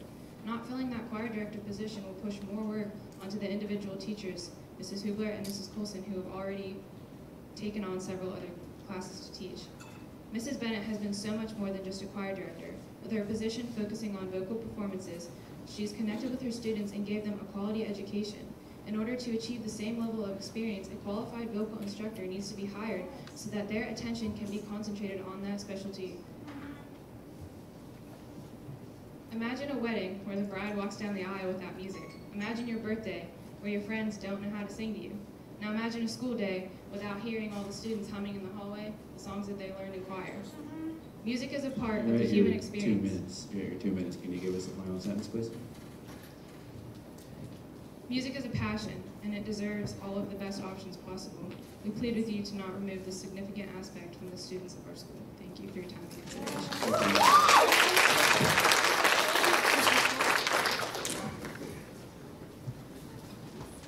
My name is Riley Ransom, and I'm from Clarion, and I'm here to represent the ninth grade choir. Um, I remember being in kindergarten and watching Sensations and Mrs. Bennett teaching them and thinking that is what I wanted to be. I've been with her since seventh grade now, and the class has changed my life among many others. She has made me more confident and able to get out of my comfort zone. I hate public speaking, and I'm standing here right now talking about it because I love Mrs. Bennett so much and what she has done. Now, I do believe that no one can make the same impact that Mrs. Bennett has, but these teachers can't either. They have not made their dedication towards this part of the job because that is not their passion. I understand that Mrs. Hubler and Mrs. Colson are options and can be utilized, but why not utilize someone who truly would love the job? These two teachers will be taking over her classes because they had to, not because they applied for the job and really wanted it. The choir classes have become a safe space for a lot of us. We talk about our own personal lives and experiences, and Mrs. Bennett has created this space for all of us because she cares and has a passion to be involved with us and be there no matter what. That same passion and dedication wouldn't be there because the teachers wouldn't be able to put all their time into the choir. If the passion isn't there, it will reflect on us as the students. We won't have the confidence to talk about things and speak out in our safe space won't be there anymore. For some of us, we don't have one when we go home, so rely on choir being the place we are ourselves and can fully let go. If the teacher is just there because they have to be, we may lose the classes altogether because there's no interest from the teachers, so why would there be interest from the students? Choir has been a big part of my life, and even though the program may still be here, I would hate to see it struggle and go downhill. We need someone with the same passion and fire that Mrs. Bennett had when she started and still has today. One of the biggest lessons Mrs. Bennett has taught us is to seize every opportunity we get, through the good and the bad. This may be someone's opportunity, and you aren't even giving a chance for them to take it and make something good out of it. And I would also like to say, Mrs. Bennett, we all love you and appreciate you putting all your time and heart into us, even when we were very difficult.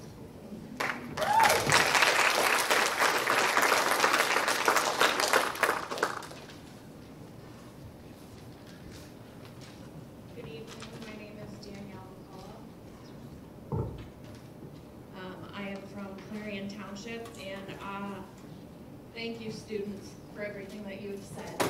And Riley is my daughter, and I also hate public speaking, but for her and her classmates, I am here tonight. I cannot begin to express what a terrible mistake the administration is making by not filling the vacancy for Mrs. Bennett. Let me just say, Mrs. Bennett, thank you for your passion and your dedication to our kids and school district. You are a true mentor and we wish you the best. Music has the power to influence the mood and behavior in people and it's used at every available opportunity. It is used to soothe, hype up, to educate, to entertain, and for medical purposes, just to name a few. And anybody that knows me, that happens to pass me, you'll see my children and myself car dancing because we absolutely love music. Do some research on the power of music. Speak to our children and they will gladly tell you why choir is important to them and what they love about it. What are the benefits to the taxpayers and the students if the vacancy isn't filled? How, how am I gonna benefit from that? But my child is going to suffer. I'm not okay with that. You are expecting Mrs. Colson and Mrs. Hubler, who isn't a vocal teacher, she's a wonderful teacher though, to step up and take on an extra role with the past year, the way it has been. What else do you want our children to lose? They have lost so much already. We have seen in the news many children, which hopefully we don't have anything like this, but many kids have taken their own lives. And it may seem stupid over a music class or a choir class, but this is things that happen every single day. I moved my children into Clarion Limestone School District because of every teacher that they would be able to encounter. The passion and the love that the teachers here have for Clarion Limestone is what made me want all of my children to come here. I didn't graduate from here, but my children will because I believe this is the best school district for them to be in. And I ask you to please rethink about filling the vacancy because Tina Bennett is one in a million, but we need that next one in a million for the rest of the kids coming through here. Thank you.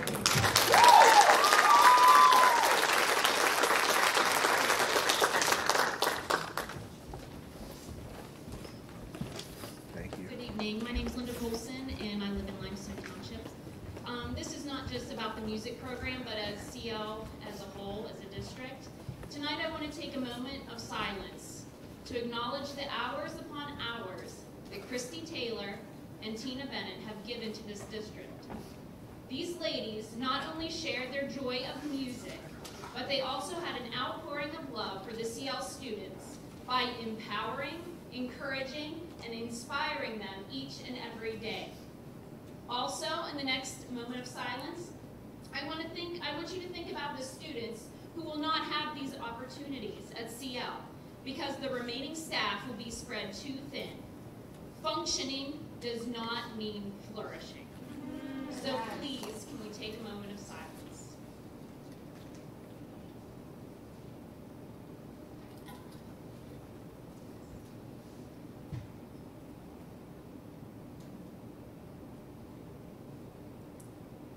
Silence uncomfortable.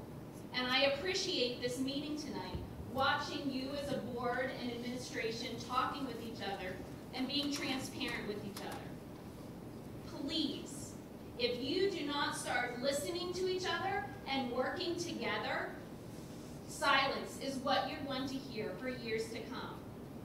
Because silence of the children who haven't had a chance to find their voice yet or be encouraged by an administrator every day in the elementary. So please, take this into consideration. Thank you.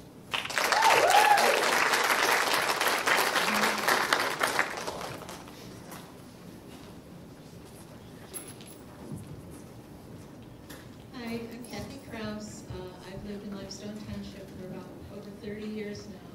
I've had three kids go through the district, and I have a grandson here now. Um, I come from a very musical family. I've given out my letter to most of you, but I don't know if I brought it on. But I just want to cover something that hasn't been covered. These students were wonderful. And because I'm a piano teacher that have been teaching kids music for 20 years myself, I know how important these things are to kids. It's just such, a, a, it's their whole life. Regina was the first one, and she said it, music is her whole life. It's what engages her and makes her want to get up and come to school some days. So I just want to uh, agree with those kids, because I was one of those kids growing up. You can read my background in my letter, but one thing that hasn't been touched on is just the purely the business aspect of this decision. This proposal um, could really do some damage to the image that has been polished in this district. When we first moved here, when we heard about Clarion limestone from people in the Clarion area, they referred to it as CL, cattle and livestock. And that was a sad thing for us because we moved our kids to the country to be here.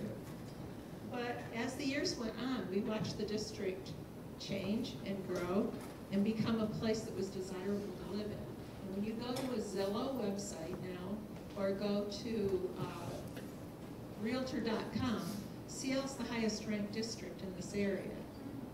And I'm telling you that if you start cutting extra things, positions that people find beneficial for their children, they'll start looking in other districts. Um, a good example of this right now is that Clarion, which was always, when we first moved here, the district that, oh, they were so proud they were Clarion people. And they lorded it over CL. A lot of you remember those days. Uh, Clarion just had a music teacher resign as well. And they considered doing this exact thing. Guess what? They're filling the position. I saw it advertised in the paper. Their band director's leaving. So Clarion has seen the wisdom of filling these positions and giving families and kids lifelong skills, things that they can be doing well into their 70s and 80s. So I would just highly recommend, unless you want to see this image tarnished that people have worked so hard to build up over the years, please fill this position. Thank you so much.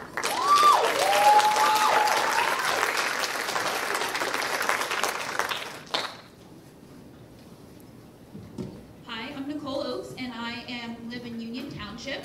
And I am a parent of two elementary students, but when I associate myself with the district, I typically say that I am a teacher and I am the coach of the cross country team.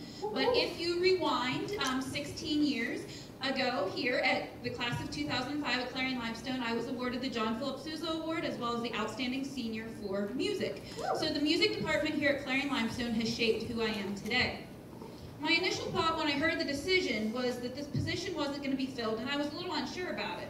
I heard the district's response stating that the administration said all the required courses would be covered. And to me that made sense. I know that Mrs. Bennett has a few study halls, I know Mrs. Hubler is helping in another department, and I know Mrs. Colson has lunch duty. But then I started to think about the memories that I made here in the music department. When I reflect on those memories, the things I think of are my times at the elementary eclipse, of course the Friday night football games, the marching band trips to Chicago, Walt Disney World, band adjudication, learning to play jazz and music theory. I fondly remember going to district and county choirs and band. There I got to interact with other musicians from neighboring schools and learn under prominent directors in our area. I remember Evening with Sensations and participating in the Young Americans Workshop twice. And I remember the trip that Mrs. Bennett took us to Erie, where we got to perform in front of another elementary school. It didn't seem like a big, big deal, but we felt like stars to those kids. Those experiences cannot be equated into a few study halls, a math class, and a lunch duty. Most of these experiences took us out of the school for the day. How does the school plan to cover for those directors whenever those experiences happen? Our district website says that we encourage creativity and optimal performance in all academic and extracurricular endeavors. I want to know what experiences my two daughters are going to be missing moving forward in the Clarion Limestone music program. Their father and I both had the privilege of participating. Our students and our teachers are more than just blocks of time on a spreadsheet. We can't expect even more from individuals who are already going above and beyond. And we simply cannot expect to do the same with less.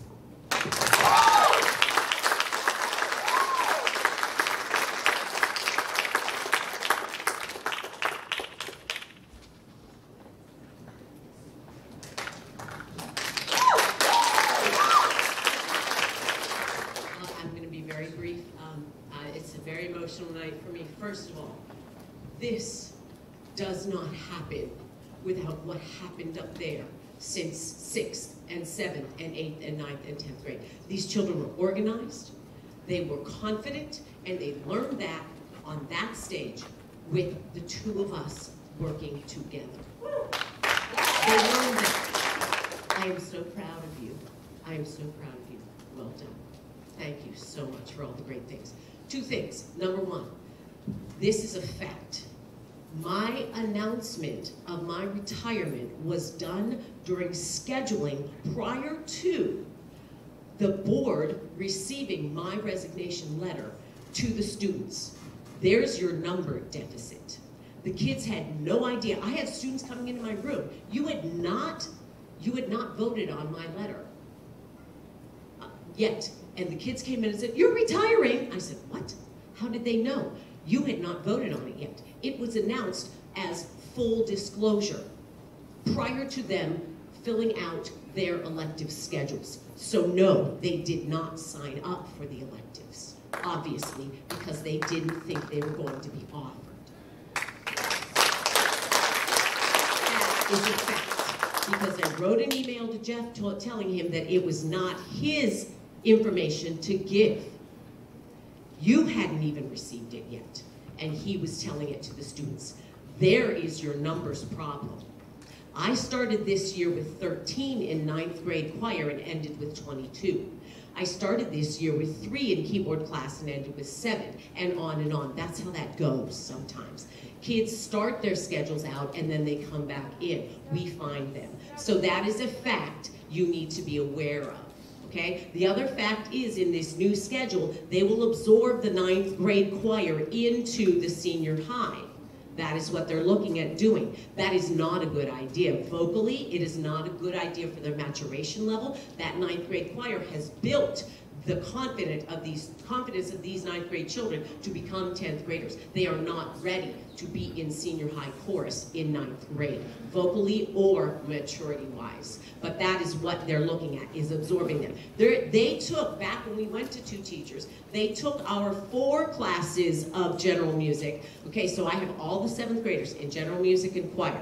So you take those, you cut them in half, and I have 35 kids in here at period 10 of the day, seventh grade, to try to teach them a general music course. It's a nightmare. Oh, by the way, don't forget, this is the corridor that leads to the cafeteria for 10th period study hall, which I have to fight all the comments that go down through, and some of them have been interesting, let me tell you, uh, while I'm trying to teach my class. It used to be I had four sections, two choir and two general music. They have crushed that down, actually technically eight, so that I had a class of maybe 15 to 20 kids in general music divided in half, and the choir was combined together for that semester. We've divided that and clumped that all up, and so now I teach 30 kids general music at a time. I can't even get into the lab and work on any music writing programs because there's not, there weren't enough computers for them to work on.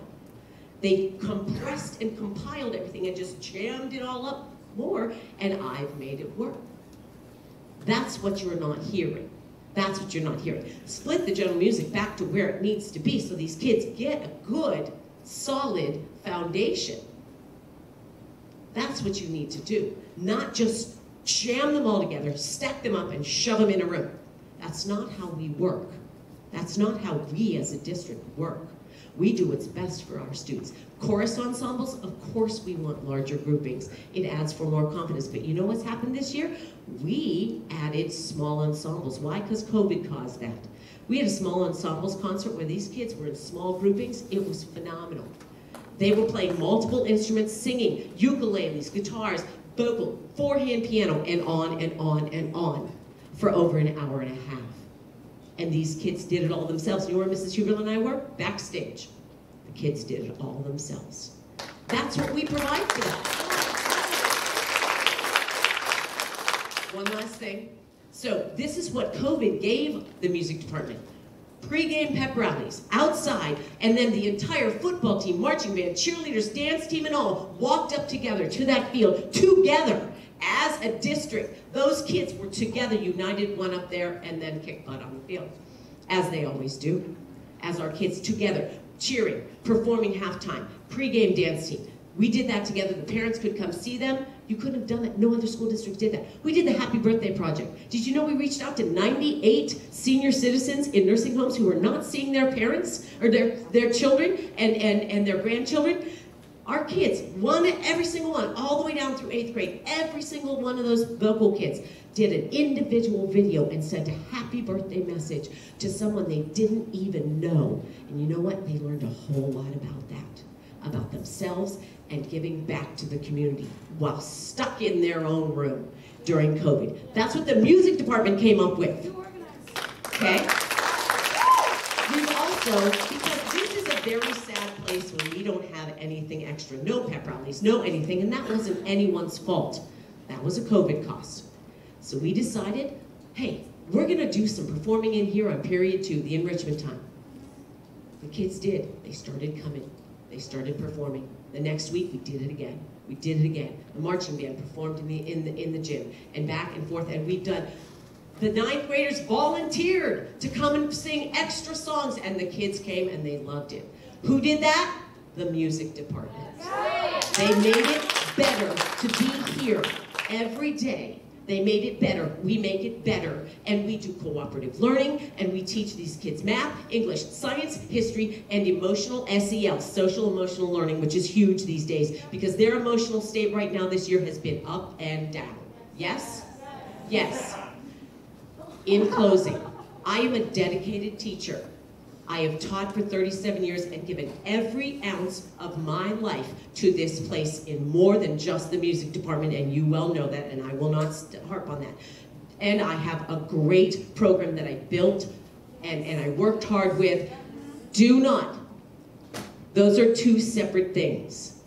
You can still have a good music department and still lose a dedicated teacher because there is another one ready to come in and they're going to take that and they're going to own it and make CL their home just like I did. If you want candidates, I have people from Penn State, IUP, and Slippery Rock ready to go and a guy from Kansas City with experience. You want names? I'll give them to you right now. I have those professors on speed dial. You want names? There are passionate instructors out there ready to step into a successful program and make it their own and continue all the programs we've started and grow more. I will gladly mentor that person and help them navigate their way through during the summer. I will not come in and interrupt their relationship with the children. They need to build that. I won't do that, but I will gladly support that. These children are worth it. You know why? Because your kids were worth it. Thank you.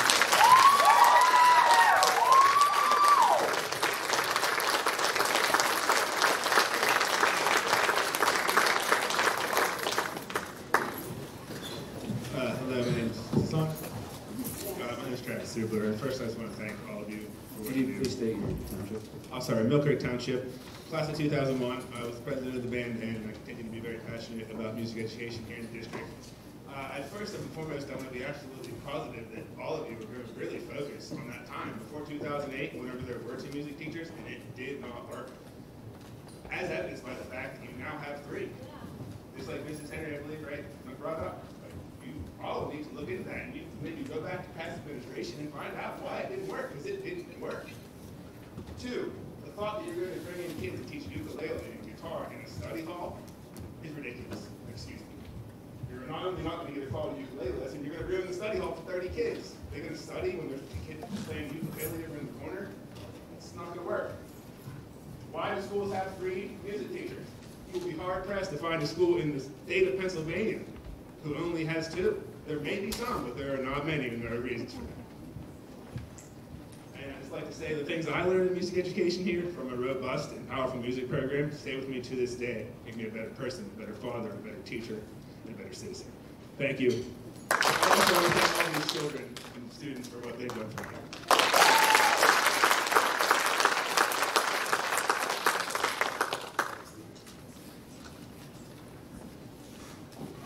Hello, my name is Brenda Smith. I actually live in Limestone Township. I, you know, as a parent of Rachel, and I've seen in the last year, just, I mean, in a year, I don't know if you caught that, she learned bass clarinet and made it to the top five in the state. Um, that's a testament to those elective times. Um, and it would be a shame, that's just one student and how that fills into their life. I, I think too, we, we focus on, sometimes we focus on academics, but if you pull these programs back, that rounding of these children is gonna be, affect your academics. You might, on paper, it fits, it fits on paper, but you might see in years coming ahead is your academics are gonna come down because these awesome children are grown by this music program too. We can see it in everyone that stood up here tonight.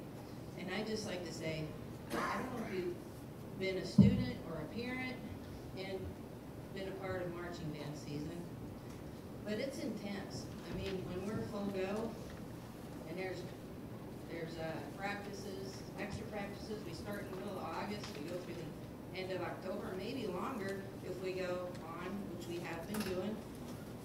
It's demanding.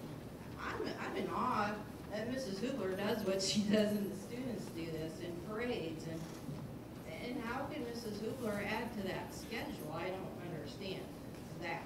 Um, the students will suffer, our academics will suffer. I can't prove it paper, although we do know that music helps math skills. Um, it helps these students to be able to stand up here because they've given that time to be able to perform. And I just thank you all for everything you do, and I thank all the teachers here too.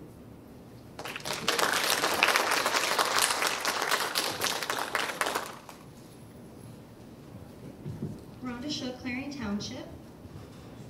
Um, This district is financially solvent. It was stated by the auditor at a couple meetings ago, and a sitting board member has been very active on social media, singing the praises of the $4.85 million fund balance this district holds. He also stated, quote, "If we cannot have a quality education at CL with a $15 million budget, something is wrong somewhere." Well, maybe there's something wrong, and maybe what's wrong is the constant reduction in staff. It sounds like money shouldn't be a primary concern. Keeping the conversation to money, consider this. A first-year teacher versus a top-step teacher would save $23,505. Significant. A half-time teacher versus a full-time top teacher would save $48,000 plus benefits. That's very significant. If this truly is a half-time position, hire a half-time teacher, stop the insanity, and move on. Save the program. Staff reductions equal less choice and leads to more reduction in programming. These ripples are not exclusive to the music program. School-wide impacts.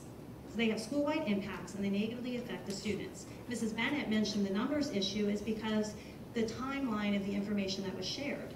The numbers issue also come into play as the kids change their schedules once school begins. If they don't know an elective is available or they're being told they're not sure who the teacher is, why would they be interested in it?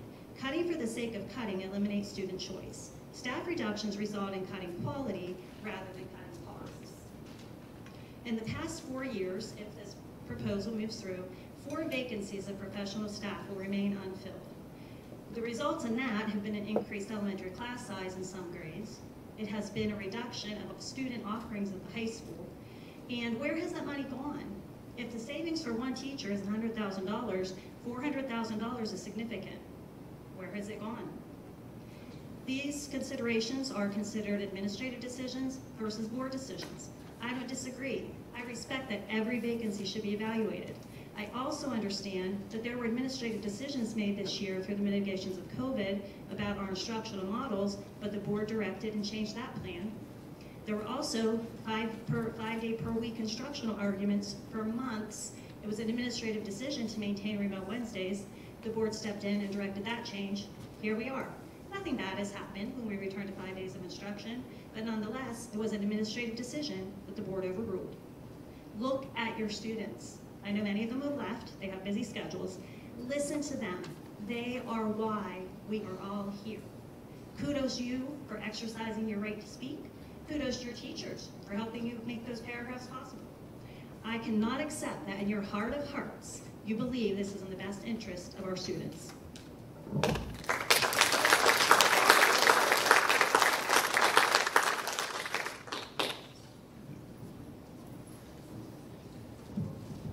My name's Nick Brown, Limestone Township. Um, I think we can remember, it was it last year, we didn't replace the shop teacher. We drug our feet in that, how hard it was to find that teacher. That's a specialty teacher, music teacher, specialty teacher. Um, right now, college is letting out. It's more, this is probably, Dave, you want to look for a principal right now. Why? Because this is the time they're letting out. We want to wait three months from now when school goes back. Oh, we better look for that teacher. They're not going to be there. They're going to be taken up at our schools. We need to look now, not a month from now. We need to replace them now. That's all I got to say, because we don't need a repeat of that shock teacher again. Thank you.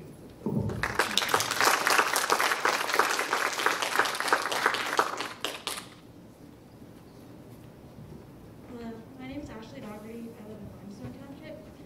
I just want to say I'm very impartial to this. I graduated in 2019. I'm not a parent. I have nobody here. I just am here to talk about how the music program helped me. Um, many of you probably don't know, I had a very untraditional junior and senior year. I did not come to school very often, and when I did, I would usually go home. Um, but the only thing that got me coming here was the music and art programs. Um, without those, I would have probably just stayed home and done online schooling. Um, Mrs. Bennett has helped many of us. She taught my mom, my brother, and me. Um, what we need is another teacher that's going to stay that long and care that much about students. Sensations was the reason I came to school most days. Why would you cut that or anything to do with music when there's kids like me who have mental health issues and the only thing that they look forward to is coming to school for music.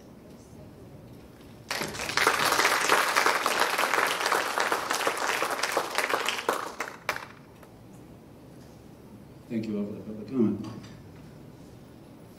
Moving on to item 11, new business. Um, Amy, I believe this is what we, we had tabled this at the last meeting, and there was a question, I believe Dave, you had a question on, on checking on the uh, availability of training. And that was the question is, right, or could we get the training somewhere else besides a PSBA program? Amy, would you want to give us Yes, we um, looked into this. The IU is a training, approved training session. It is forty dollars to train a new board member who hasn't been on board before. And it's two nights, and they even give you dinner for forty dollars. And if you are a returning board member, re-elected, you, it is twenty-five dollars, I believe, for that training, it's one night. So at the most, with four open positions, if those four position, or four, I apologize, they're not opening, they're not open. They are, um, elect, the election is going on for four seats. If those four seats became brand-new people, it would cost hundred and sixty dollars. Um, I also am, um, we reached out to our solicitors. They do not get the PSBA, um, policies that are handed out, but there is another source to get that from for free, which I have located. So I think it's, we can try it. Um, and I think it will be fine. If not, we look back and see what we need to do next year. Make a motion to approve. Okay, I have a motion to approve from Dave. Is there a second? Uh, I'll Give that one to Rebecca. It was close. Uh, Any further discussion among the board? Okay, that's a roll call vote, Donna, please.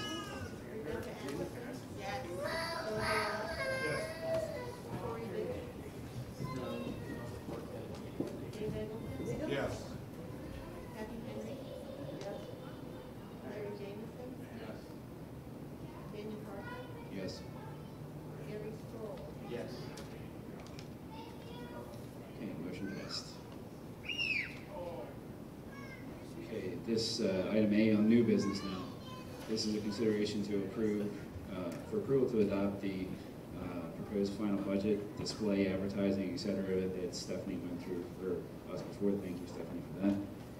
Uh, do I have a motion to approve that? So moved. Second. Joe with the motion and Gary with the second. Thank you. Any discussion among the board? Not hearing any. Donna, roll call vote, please. Joe Balai? Yes. Corey Fish? Yes. Dave Eggleton? Yes. Kathy Henry? Larry Jameson? Yes. Daniel Parker? Yes. Gary Sproul? Yes. Rebecca Allison? Yes. Thank you. Motion passed. Item B, the following depositories for 2021 through 2022. I'm not going to read them all. You guys can see them. Is there a motion to approve? So moved. Joe with the motion. Kathy with the second. Thank you. Any discussion? Donna, roll call vote, please. Corey Fish? Yes. Dave Eggleton? Yes. Kathy Henry? Yes. Larry Jameson? Yes. Nathaniel Parker? Yes. Gary Sproul? Yes. Rebecca Allison? Yes. Joe Balai? Yes. Motion passed. Item C, consideration for approval to appoint Brooks and Rhodes CPA. That's our uh, current CPA that we've been using. You can see the cost this year versus last year. Uh, Do I have a motion to approve? So moved. Uh, I'll give Joe the motion. I heard him first, I believe it was. Kathy will give you the second. Is that okay? Good. Kathy says yes, she seconds. Any discussion, questions among the board? Not hearing any. Donna, roll call vote, please. Dave Eggleton? Yes. Kathy Henry? Yes. Larry Jameson? Yes. Daniel Parker? Yes. Gary Stoll? Yes. Rebecca Allison? Yes. Joe Balai? Yes. Corey Fish? Yes. Motion passed. Item D, consideration for approval to retain both of our existing legal counsel for the next fiscal year. Do I have a motion to approve? Second. Gary with the motion, I heard Joe with the second. Any discussion among the board? Quick question. Why do Yes. we need two? Uh, they, they have, offer different, uh, specialties, different personalities. There's things that Amy goes to Peter with that she's more comfortable, he's quicker to respond. And there's things that Carl is vice versa, he's quicker to respond and easier to talk to, so we find it gives us flexibility to get a quicker answer. Any We further? don't pay a retainer with either one, right? What's that? We don't pay a retainer with either one, is that correct? I don't believe there's a retainer now. And I think their hourly rates are very close too, if I recall.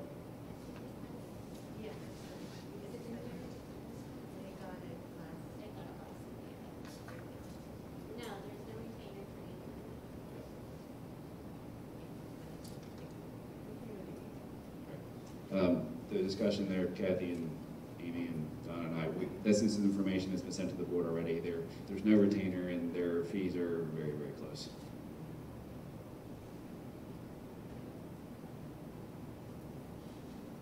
Yeah, to answer your question, David, uh, it would be for the Maiello firm, if he comes to a meeting, it would be, uh, four hundred and fifty dollars for six meetings. Great. Any other discussion or questions? Thank you, Don. Not hearing any, Donna, when you get done with your papers, could do a roll call vote, please, item D. Kathleen Henry? Yes. Larry Jameson? Yes. Daniel Parker? Yes. Gary Sproul? Yes. Rebecca Allison? Yes. Joe Malott? Yes. Corey Dish? Yes. Dave Eagleton? Yes. Motion passed. Item E, consideration for approval to extend our existing transportation contract, quote, as is, for one year. So moved. Gary, I have a motion, sounds like Joe with a second. Thank you. Any discussion from the board? Not hearing any, Donna, roll call vote, please. Larry Jameson? Yes. Daniel Parker? Yes. Gary Sproul? Yes. Rebecca Allison? Yes. Joe Malott? Yes. Corey Dish? Yes. Dave Eagleton? Yes. Kathleen Henry? Motion passed. Item F, consideration for approval of the Career Center total budget. i just like to note in there, I know Joe, you're involved with there. I do appreciate the fact that it looks like you guys have trimmed your budget a little bit from last year. That's, Yes. I, I do appreciate that. As a taxpayer, I, I just want to say thank you.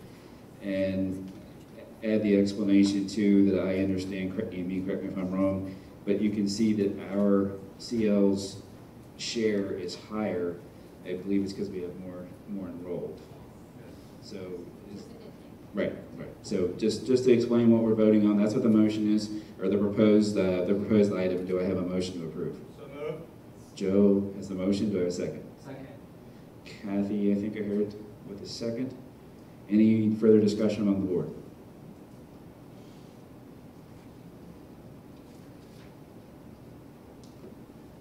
Okay, not hearing any further uh, discussion.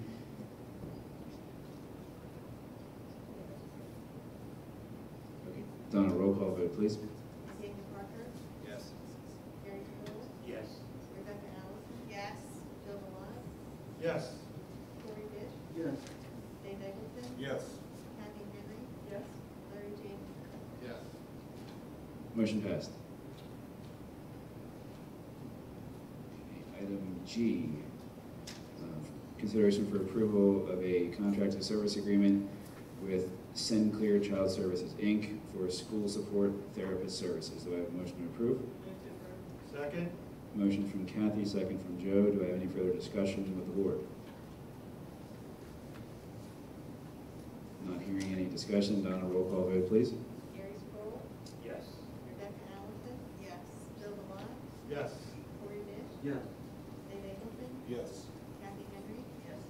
Larry Jameson? Yes. Daniel Parker? Yes. Motion passed. Item H, consideration for approval of the 2021/2022 Blue Cross Blue Shield major medical rates as presented. Make a motion Gary with the motion, do I have a second? Second. Second from Joe, thank you. Any further discussion from the board? Just to clarify, those, those rates are in our packet, or they were given out previously? Okay, gotcha, thank you. Any discussion? Donna, roll call vote, please. Gary Sproul? Yes. Rebecca Allison? Yes. Joe Malott? Yes. Corey Dish? Yes. Dave Eggleton? Yes. Kathy Henry? Yes. Larry Jameson? Yes. And Daniel Parker? Yes. Motion passed. Uh, Item I, consideration for approval of the following 2021/2022 insurance renewal rates as stated in your agenda there. Do I have a motion to approve? So moved. Motion from Joe, Do I have Sorry, do I have a second? Kathy with a second, thank you. Any discussion or questions from the board? Not hearing any, Donna, roll call vote, please. Rebecca Allison? Yes. Joe Blat? Yes. Lori Dish? Yes. Dave Eggleton? Yes. Kathy Henry? Yes. Larry Jameson? Yes. Daniel Parker? Yes. Gary Sproul? Yes. Motion passed. Item J, consideration for approval of the uh, renewal rates for the, let's see, how do I make that short and sweet without reading it? Um, Looks like insurance rates, is that effectively what, accurate summary? Okay, good. Do I have a motion to approve? So moved. Second. Motion from Joe, second from Gary. Any discussion or questions from the board? Donna, roll call vote, please. Joe Blat? Yes. Lori Dish? Yes. Dave Eggleton? Yes. Kathy Henry? Yes. Larry Jameson? Yes. Daniel Parker? Yes. Gary Sproul? Rebecca Allison? Yes. Motion passed. Item K, consideration for approval of the substitutes listed in your agenda. So moved. Motion from, motion from Joe, second from Kathy. Thank you. Any discussion or questions from the board? Donna, roll call vote, please. Lori Dish? Yes. Dave Eggleton? Yes. Kathy Henry? Larry Jameson? No. Daniel Parker? Yes. Gary Sproul? Yes. Rebecca Allison? Yes. Joe Blat? Yes. Motion passed. Okay, item L, in case you guys are falling asleep out there, uh, we actually have to talk about this one. Item L, we need to set, and Amy, you jump in if I get this screwed up, but we need to set our substitute rate for the next school year. We had increased the rate for this year to make it easier to attract uh, substitutes. From the administration is, that it's been well received, it's been helpful to them. But the question is, what do we want to do for next school year? And I open it up to the board, because the motion's blank, so we have to have a discussion and somebody needs to make a suggestion as far as what we do going forward. Leave it as is or else raise it. I would not lower it. Okay. I would absolutely lower I'm sorry, what did you say, Larry? Is that Larry that was talking? Yeah. You recommend the microphone? Yeah. yeah. I would absolutely lower it. Um, I know I was sitting in the audience when this was made to $150 after it was stated that it was $100 didn't understand at that time why we went the whole way to hundred and fifty instead of at least trying hundred and twenty-five. Now, I'm gonna defer some of this to probably Mel mostly. I think uh, Christy Taylor actually was instrumental in making the, setting the number, that's how I recall it, maybe Yeah. I'm wrong, but I think she threw the number out there. Do we know where, our- where we are within the districts around here? Um, we got a hundred and fifty, we would be above what the other districts now, the other districts did raise theirs up, right?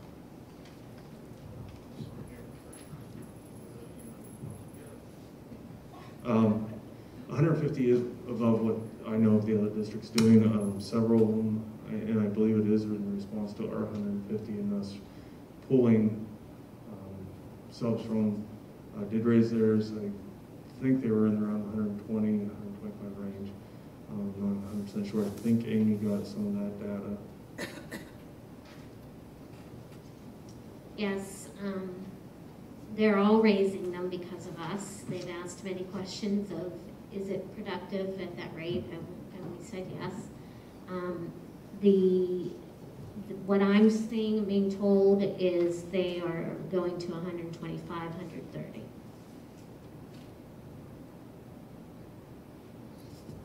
I move we go to hundred and thirty. I second that motion. Okay, I've got a motion from Larry to go to, to have item L, correct, Larry, you say if I'm wrong. You want to do item L as printed with a one hundred and thirty dollars included, correct? And Rebecca, you're second on that? Yes. Okay, do I have any further discussion on that motion? Since it's been successful, um, do we think, do we not think this is gonna hurt us in getting subs? not like there's an abundance of subs out there, right? So we always have a concern that we don't have enough substitutes when something happens. So if there's not an overabundance of substitutes to begin with, why are we lowering it? Because I feel like that we're just lowering it just because everybody else is lowering it. We want maybe some of these substitutes that actually come here, maybe they can end up being full-time teachers if, if positions open and we're hiring at that point and we've already worked with them. I, I'm just throwing it out there. I just don't understand why we're reneging on something now that has worked for the district. My initial comment was gonna be, um, I'm the one that made the motion, I guess, to make it one hundred and fifty dollars when we talked about this. Um, My initial question was going to be, has this proven to be a hardship on the district, though, making it hundred and fifty dollars, and then expenses for substitutes is getting us out of budget, or whatever the budget is for substitutes, I don't, I don't know the answer to that Well, question. if we raised it once before, we can always do it again if it doesn't work. Because I'm amenable to leaving it to, at one hundred and fifty dollars a day, absolutely, I would, I would second that motion as, as well, or I would make that motion. But I was, um, looking at, you know, just compromising and saying one thirty if we think that one fifty was kind of an emergency situation. I guess I'll just make a comment, um, when you talk about the rates and the financial aspect of it, when you, just for your information, so you're making an informed business decision, it, a hundred dollars an hour compared to a hundred and fifty dollars, or, um, excuse me, a day, per diem, you're looking at, uh, nine thousand dollars more a year one substitute in the school district every day. So the difference in that rate for one substitute for hundred and eighty days was around nine thousand dollars, if I remember correctly. And I pulled that information for Amy.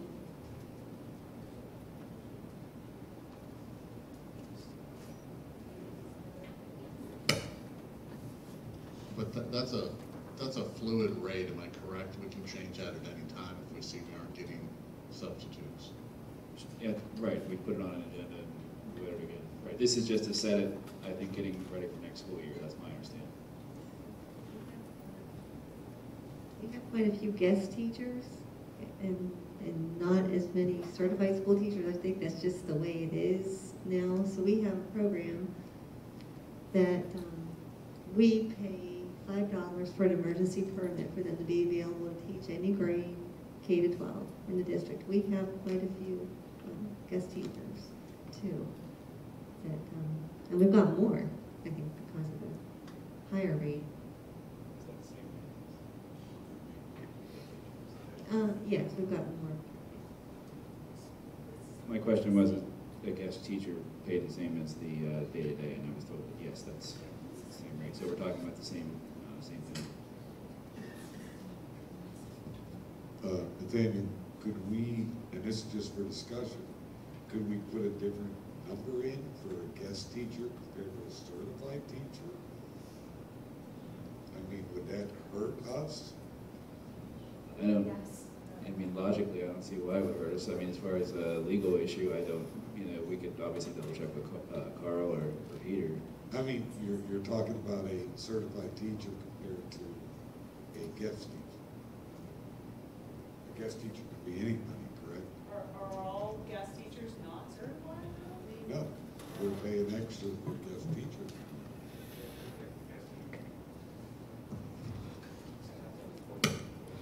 Yeah, a guest teacher would have a four-year degree.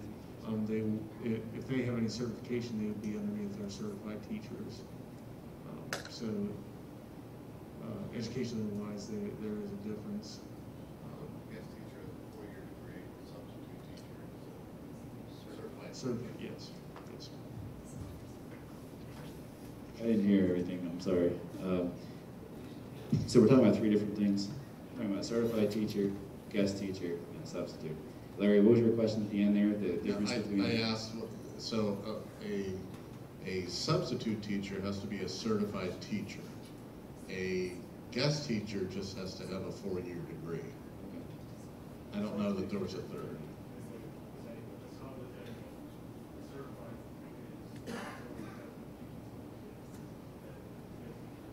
Can someone substitute without a degree? I just say we keep it one, the same for all. You just, Did you get all that, Dave? Yep. That was kind of an answer to your question, I think. You got it. All right, any other, uh, we got a motion on the floor. I don't want to cut off debate though, or conversation. If- Does anyone else have anything to add to this? I would like to second at one thirty. Uh, we have, uh, thank you, Gary, we already have a motion and a second, I believe. I believe, uh, I'm sorry, yeah, Larry made the motion and then Rebecca seconded. All right, we do a roll call vote on this. Donna, please. Dave Eggleton? Yes. Kathy Henry? No. Larry Jameson? Yes. David Parker? No. Gary Sproul? Yes. Rebecca Allison? Yes. Joe Balai? No. Corey Dish? No. All right, so that was four to four, Donna, is that right? All right, so then that motion is defeated. If I understand it correctly, we have four, we don't have our ninth member here. Um, Before we leave that, uh, do we, we can leave it and just let it go and talk about it another time, or if we- somebody wants to make a different motion? we Make a can- motion to leave it at one fifty as it is Okay, we have a motion from Corey to make it item L on the agenda, right, Corey, but have one fifty wrote in instead of one thirty, right? Right. Okay, and then, thank you, Corey, then Kathy, you seconded, correct? That's correct. I just want to point out that we've spent more time talking about hundred thirty dollars to hundred fifty dollars than we did replacing. I know, Rhonda, I know, this is probably gonna get me some cookies later, but, um, What- what more than of we did talking about a, What kind of a cookies? music teacher. You say cookies? Cookies, yeah, Randy's a chef. What kind of cookies? He'll What kind? give you any kind of cookies you want. I'm sure he's taking suggestions. Well, remember, we're not, I mean, in fairness to what we talked about, the, the music presentation was informational to get the conversation started. It was Oh, I, not- I, it was not I the end agree, of but it. as Gary just said, it's been a long night, and, it- you know, I- you know, I, I'm not, Well, I'm sorry. I, I'm not a fan of overpaying for anything, so. And that nine thousand dollars that Stephanie said makes a difference could go toward a music position. Any further discussion on the motion on the floor? Yes. Roll I do, I do have one more thing, I just wanna ask our principal, is it gonna make a difference if we pay a hundred, I mean, i- i- are we going to be hamstrung by paying a hundred and thirty dollars instead of a hundred and fifty dollars? That's a tough question, Larry. I know it is. Well, let's ask it in reverse. Are we gonna be screwed if we? Well, no, I mean, in his experience, that's, I mean, you know, I know substitutes are a very difficult thing to get, and, and my point being, do we need to overpay? That's, that's all it comes down to. I, I- it's no disrespect to anyone that's subbing, God bless them, but my point is, why would we overpay? We could take a vote, I'm gonna vote no, and maybe it'll be seven to one this time. Probably won't. But I guess I'm just saying, I mean, my, my perspective is, is that it, we already have it at this, and then now we're gonna be telling people, we're taking it back, we're going backwards. Well, I look at it, every, every school year is a new school year. So, I understand, and I mean, it's, it's, like you said, it's, it's, I understand both positions. I, I, I would just ask for Mel's comment, and then I'm gonna call the question. Again, I haven't talked to many of this, the subs about th- this, there's a handful of them that I've- spoke to about, I, I think we just have to, I think most of them understand that this was an emergency thing to jump up to one fifty. I, I do the worry as, as Amy presented, other schools, in order to compete with us, have, have brought it up. So, so that, that's the only thing is where, where do we compete now? Of course, I guess teachers that came in, they, that have been other places, they pointed out they love being here. They, they, I think it helped open door to a few people, so they may less pay to, to be here. So two of the people on the list tonight are college professors, with all due respect, they're not doing it for the money. for- And one, la- last time is a retired university administrator, and I'm sure she is not doing it for the money. Yeah, I think it's I a doubt lot with our kids and in the atmosphere here. Mel, could you let us know kind of an average of how many substitutes you would have per day in the high school? You- For you just- budget, to answer like a budgetary question. You, you just asked me right after we pulled off uh, fifteen people being out, but, um, uh, I think I told Bear probably on average, uh, and he kind of agreed with me, we're looking at across the district, five, five people out, a- out a day. Okay, so then, if we're saying five, and it's nine thousand dollars a year per, so then we're looking at the substitute expense then. Forty-five thousand dollars, I guess is what I'm saying. Like, I, I just, for, I'm saying this as the, I, I guess because I was involved with the finance committee, we're trying to figure out our budget for substitutes.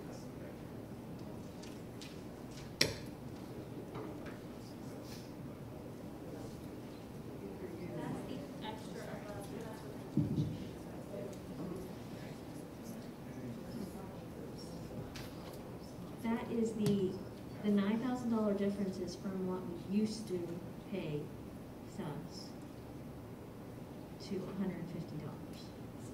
That's one hundred to one fifty, right? Yes.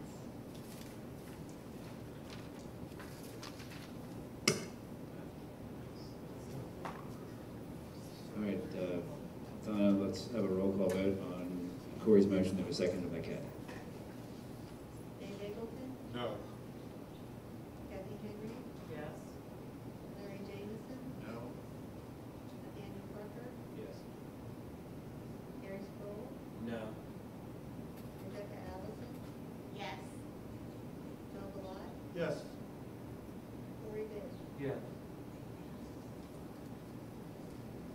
That five-three vote, so that motion passes. Again, we can revisit that. If somebody wants to tell me, let me know, we'll revisit it, but that's where it goes. Item M, consideration for approval of Bonnie Earhart as a detention supervisor. I can't keep track of who that was. Who? Give it to Kathy on the motion, Joe on the second. Any further discussion? Larry, you want to talk about this one some more? I've got all night if you want, but no, thank you. All right, Donna, roll call vote. Kathy Henry? Yes. Larry Jameson? Yes. Nathaniel Parker? Yes. Gary Sproul? Yes. Rebecca Allison? Yes. Joe Balot? Yes. Corey Dish? Yes. Dave Eggleton? Yes. Mel, important question. Do I do detention tomorrow or is Bonnie, or is there none? Um, there is detention at Bonnie, I believe, willing to do it. since she passed. Okay, thanks.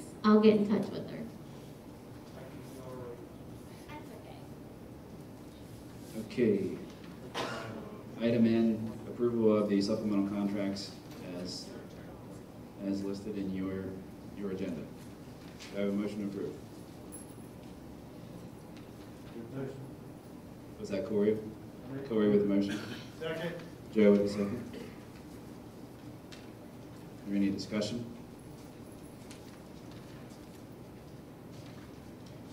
Donna, roll call vote, please. Larry Jameson? Yes. Nathaniel Parker? Yes. Gary Sproul? Yes. Rebecca Allison? Yes. Joe Balot? Yes. Corey Dish? Yes. Dave Eggleton? Yes.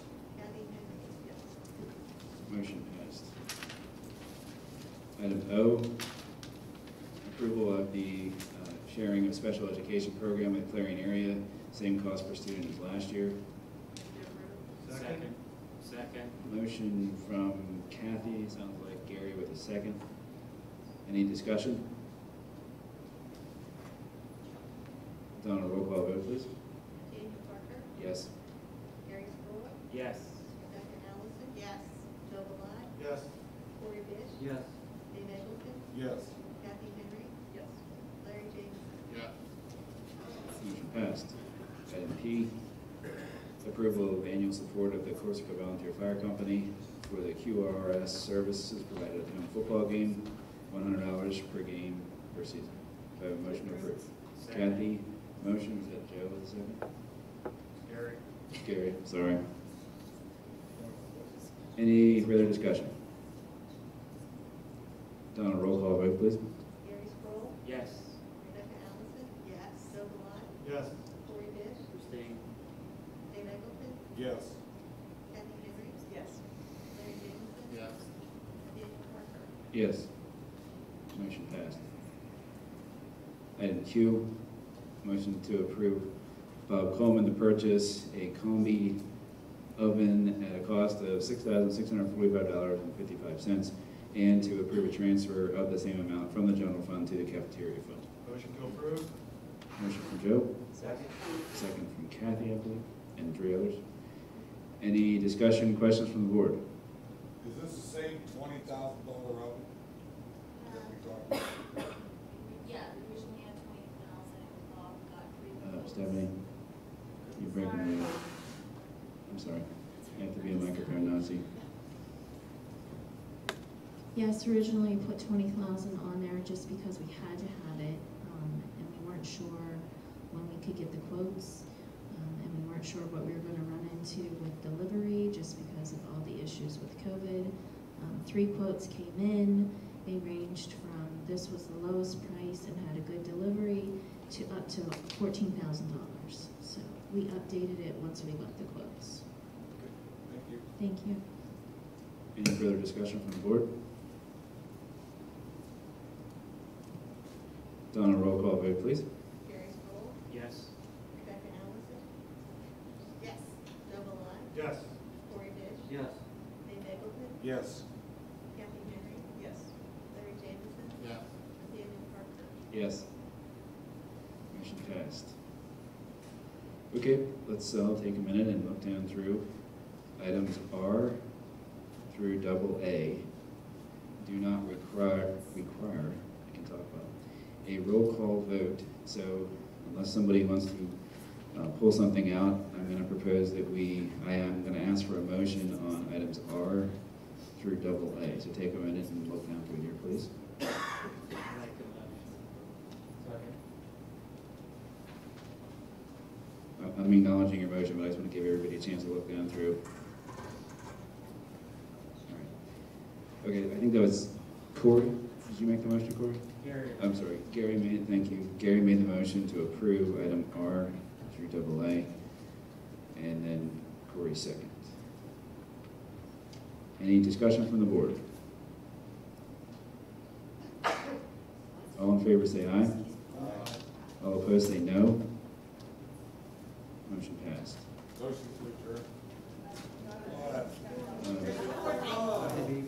Premature, flag on the play there. Um, And I realize it's been a long meeting, but.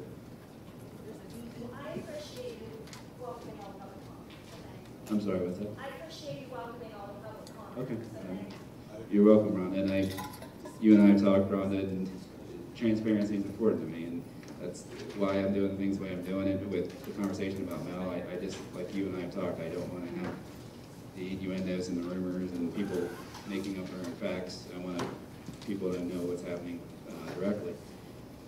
Board members, I have been made aware of, of a potential issue with one of our policies, and I wanted to bring it to your attention. And again, similar to Amy's presentation, I don't do PowerPoint, so there is no presentation. It- It's just putting it out there for discussion.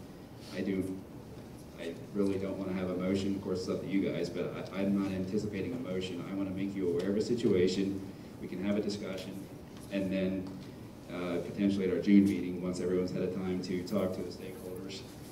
And I would anticipate talking with Rhonda about this as well. uh, Decide whether or not we want to do anything. Uh, In your, in your packet is policy 202. And policy 202 talks about uh, non-resident students. And it's, it's kind of lengthy, but in summary, the, and I'm going to have Mr. Edmonds give some information. So uh, bear with me, I'm just going to kind of introduce the topic, and then I'll have him flesh out a couple more details for us. The issue is that there was a policy started years ago by a prior uh, superintendent, prior board, et cetera, that provides that if you're an employee of the district, your child can come to the school here for no, no cost. And that was obviously, I've heard a lot of people talk, I mean, I wasn't there, so I can't tell you firsthand what uh, the actual thought process was, but the, I heard it explained by one person that typically teachers, students are uh, more attentive, uh, more productive, uh, higher achieving, etc. So it's, it's thought to be an encouragement. It's also a nice perk for your employees. Um, the, the issue is, is that there's a situation where um, it's gone beyond just regular tuition, and there's a fairly significant financial burden being absorbed by the taxpayers. And so again, I'm going to have Mr. Edmonds give a little more details, but the whole point of me bringing this to your attention is so you're aware of the situation, and then you can talk to people and ask questions about it, and then we can all have an informed discussion next time as far as do we want to do anything with this policy or leave it as is. So with that, Mr. Evans, can you please give us a little more details? Yeah, so the, the conversation actually, so it, it did start a couple of years ago. Um, even students that do pay, parents that do pay tuition to come here, um, it's currently set up that it is tuition. Um, it is implied that that encompasses any other services that the student may qualify while here. Um, in doing so, there are other services that do potentially cost extra money and, and utilize additional resources that the district offers, um, whether that be 504 services, special education services, gifted services, um, you know, th those types of things all, you know, start to start to add up and aren't included in tuition. And so looking at that, there has been some, I believe, unintended consequences as far as that goes uh, from a financial liability standpoint to the district. Um, and that's that's for students that have even paid tuition to be just the, the, the tuition waiver that is afforded to non-resident employees. Um, and so looking at that, there's a number of factors. Financially, there is there's the, the component. There's also the component of caseload sizes. And so, you know, as students are on those caseloads, there are um, situations where potentially we have to hire an additional employee or contract for additional, say, speech therapy services once they hit a certain caseload size. We have not had to do that for a few years. Um, I'm going to say probably five years ago we did um, have an additional speech therapist that we contracted for services with the IU.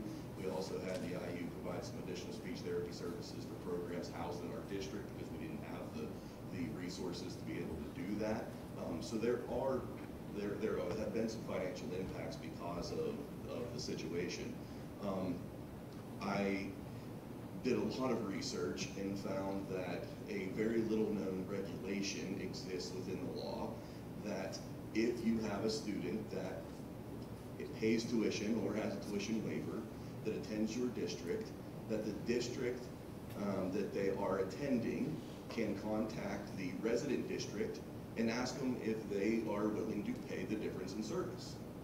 And they can work out a, an agreement with that other district if they would like to do that. Um, therefore, I have spoken with the local superintendents that this would potentially impact, and every one of them uh, is not interested in having that conversation and have said that, you know, in a situation like that, uh, the student could enroll in their district since they're a resident and they would provide the service themselves.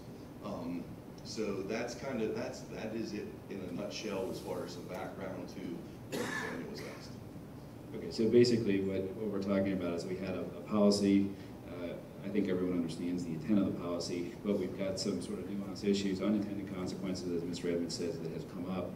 And so the, there's a need, I believe, to, at a minimum, uh, revise the policy or amend or provide clarification, but that leads us into another issue, though, as far as Mr. Edmonds and I and Amy have had, we, I've consulted with a solicitor to give you guys, because I knew that would be the question, is, well, what, what, can we do, what can't we do? And so, Mr. Evans, could you address that issue? Yeah, so, I mean, obviously, because it does impact additional services, you end up looking at potentially discrimination issues um, and things of that nature, which are near and dear to my heart, and I certainly would not, not want to, uh, violate. So that is, that is definitely a concern um, as having a conversation with this. Um, So, you know, I think there are some considerations on whether the policy continues. Um, There, there's, um, you know, certainly a prior board uh, can't tie the hands of a current board um, and say, you know, because this was good for us back then, that this is going to be it for eternity.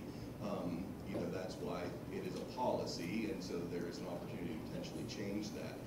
With that said, I think there's a lot of potential options, you know, with that policy, whether it is, it it is removed wholesale, or whether there are some changes to it, or an understanding um, amongst, you know, um, even the, the non-resident employees that um, are afforded this, you know, whether, that- whether there's a conversation with them and, and an understanding there, um, you know, uh, as far as the tuition is free and potentially um, they would pay the difference. You know, any other, any other allocated car services, and all of those things I think could probably be conversations.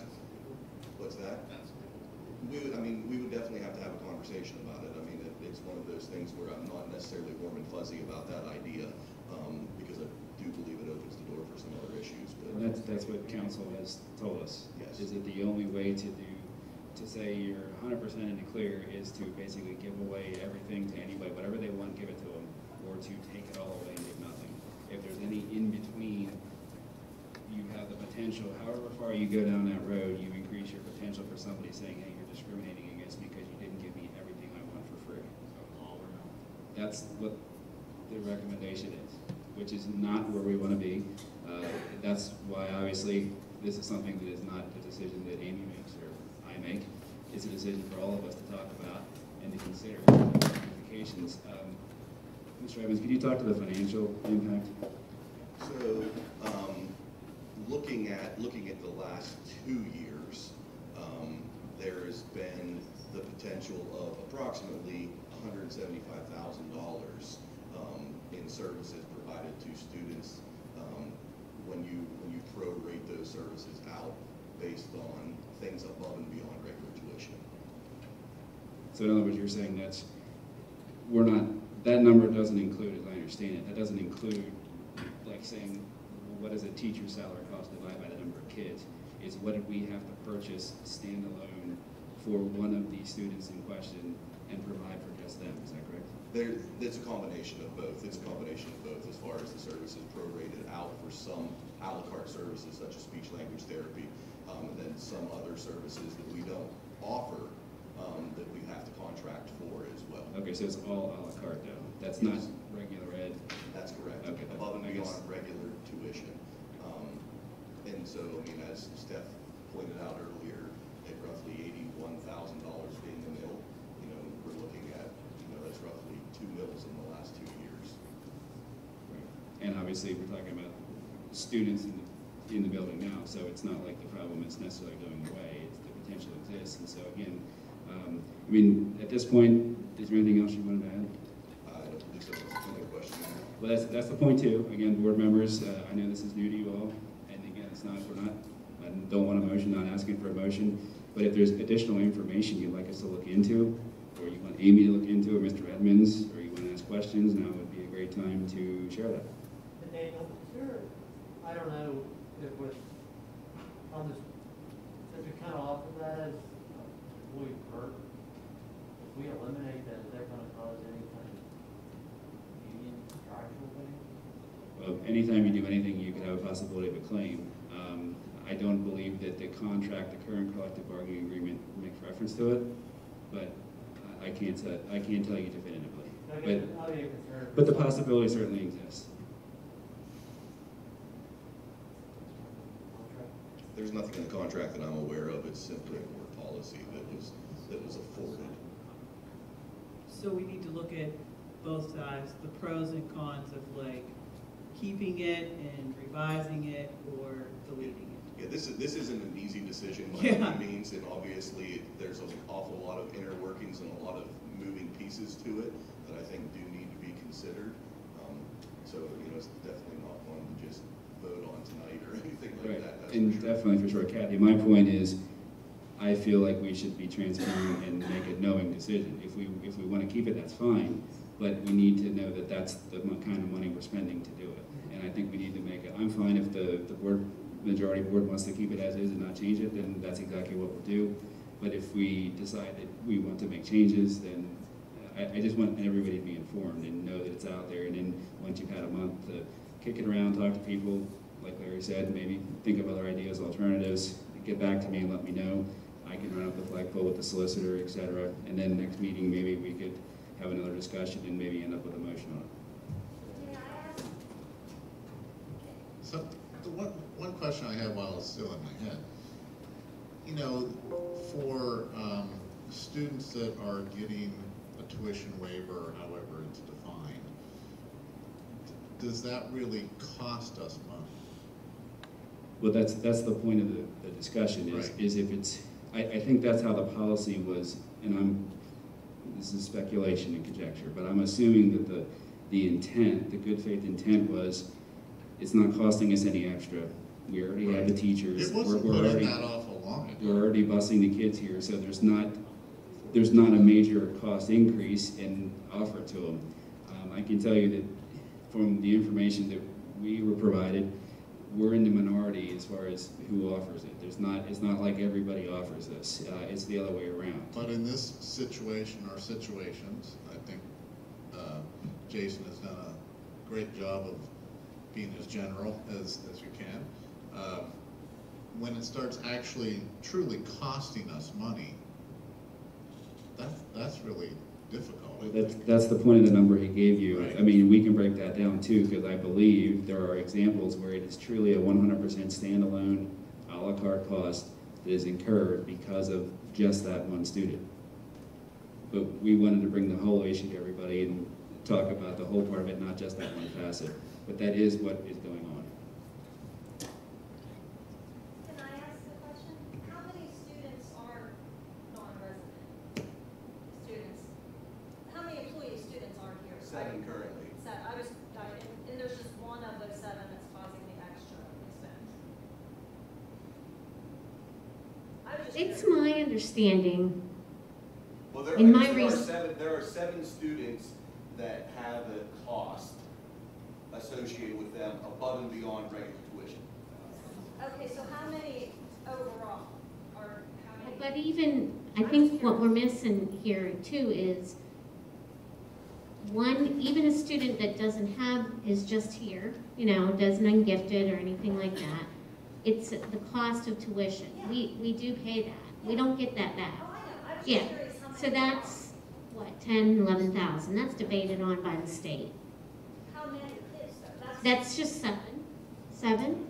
Seven that cost extra. No, But how many? my understanding is seven is the one that costs extra, but just tuition, that would be an additional number, correct? Or did I misunderstand what you said? There are seven students this year currently enrolled that are non-resident students that have a cost associated to them above and beyond flat rate tuition. Right, so I think Rhonda's question is, do we have a number for how many are just regular tuition, just? I don't have that we- number. I was so- just curious. No, but that's, Five well, nineteen. We was can get that, and like I said, Rhonda, I do anticipate probably having a discussion with you, you and Julie to. Amy's telling me she thinks it's about twelve, but we'll get you, we'll get you a, Yeah, I was generally curious. Okay, um, ten o'clock. Any board members have any other questions? On item double B, okay.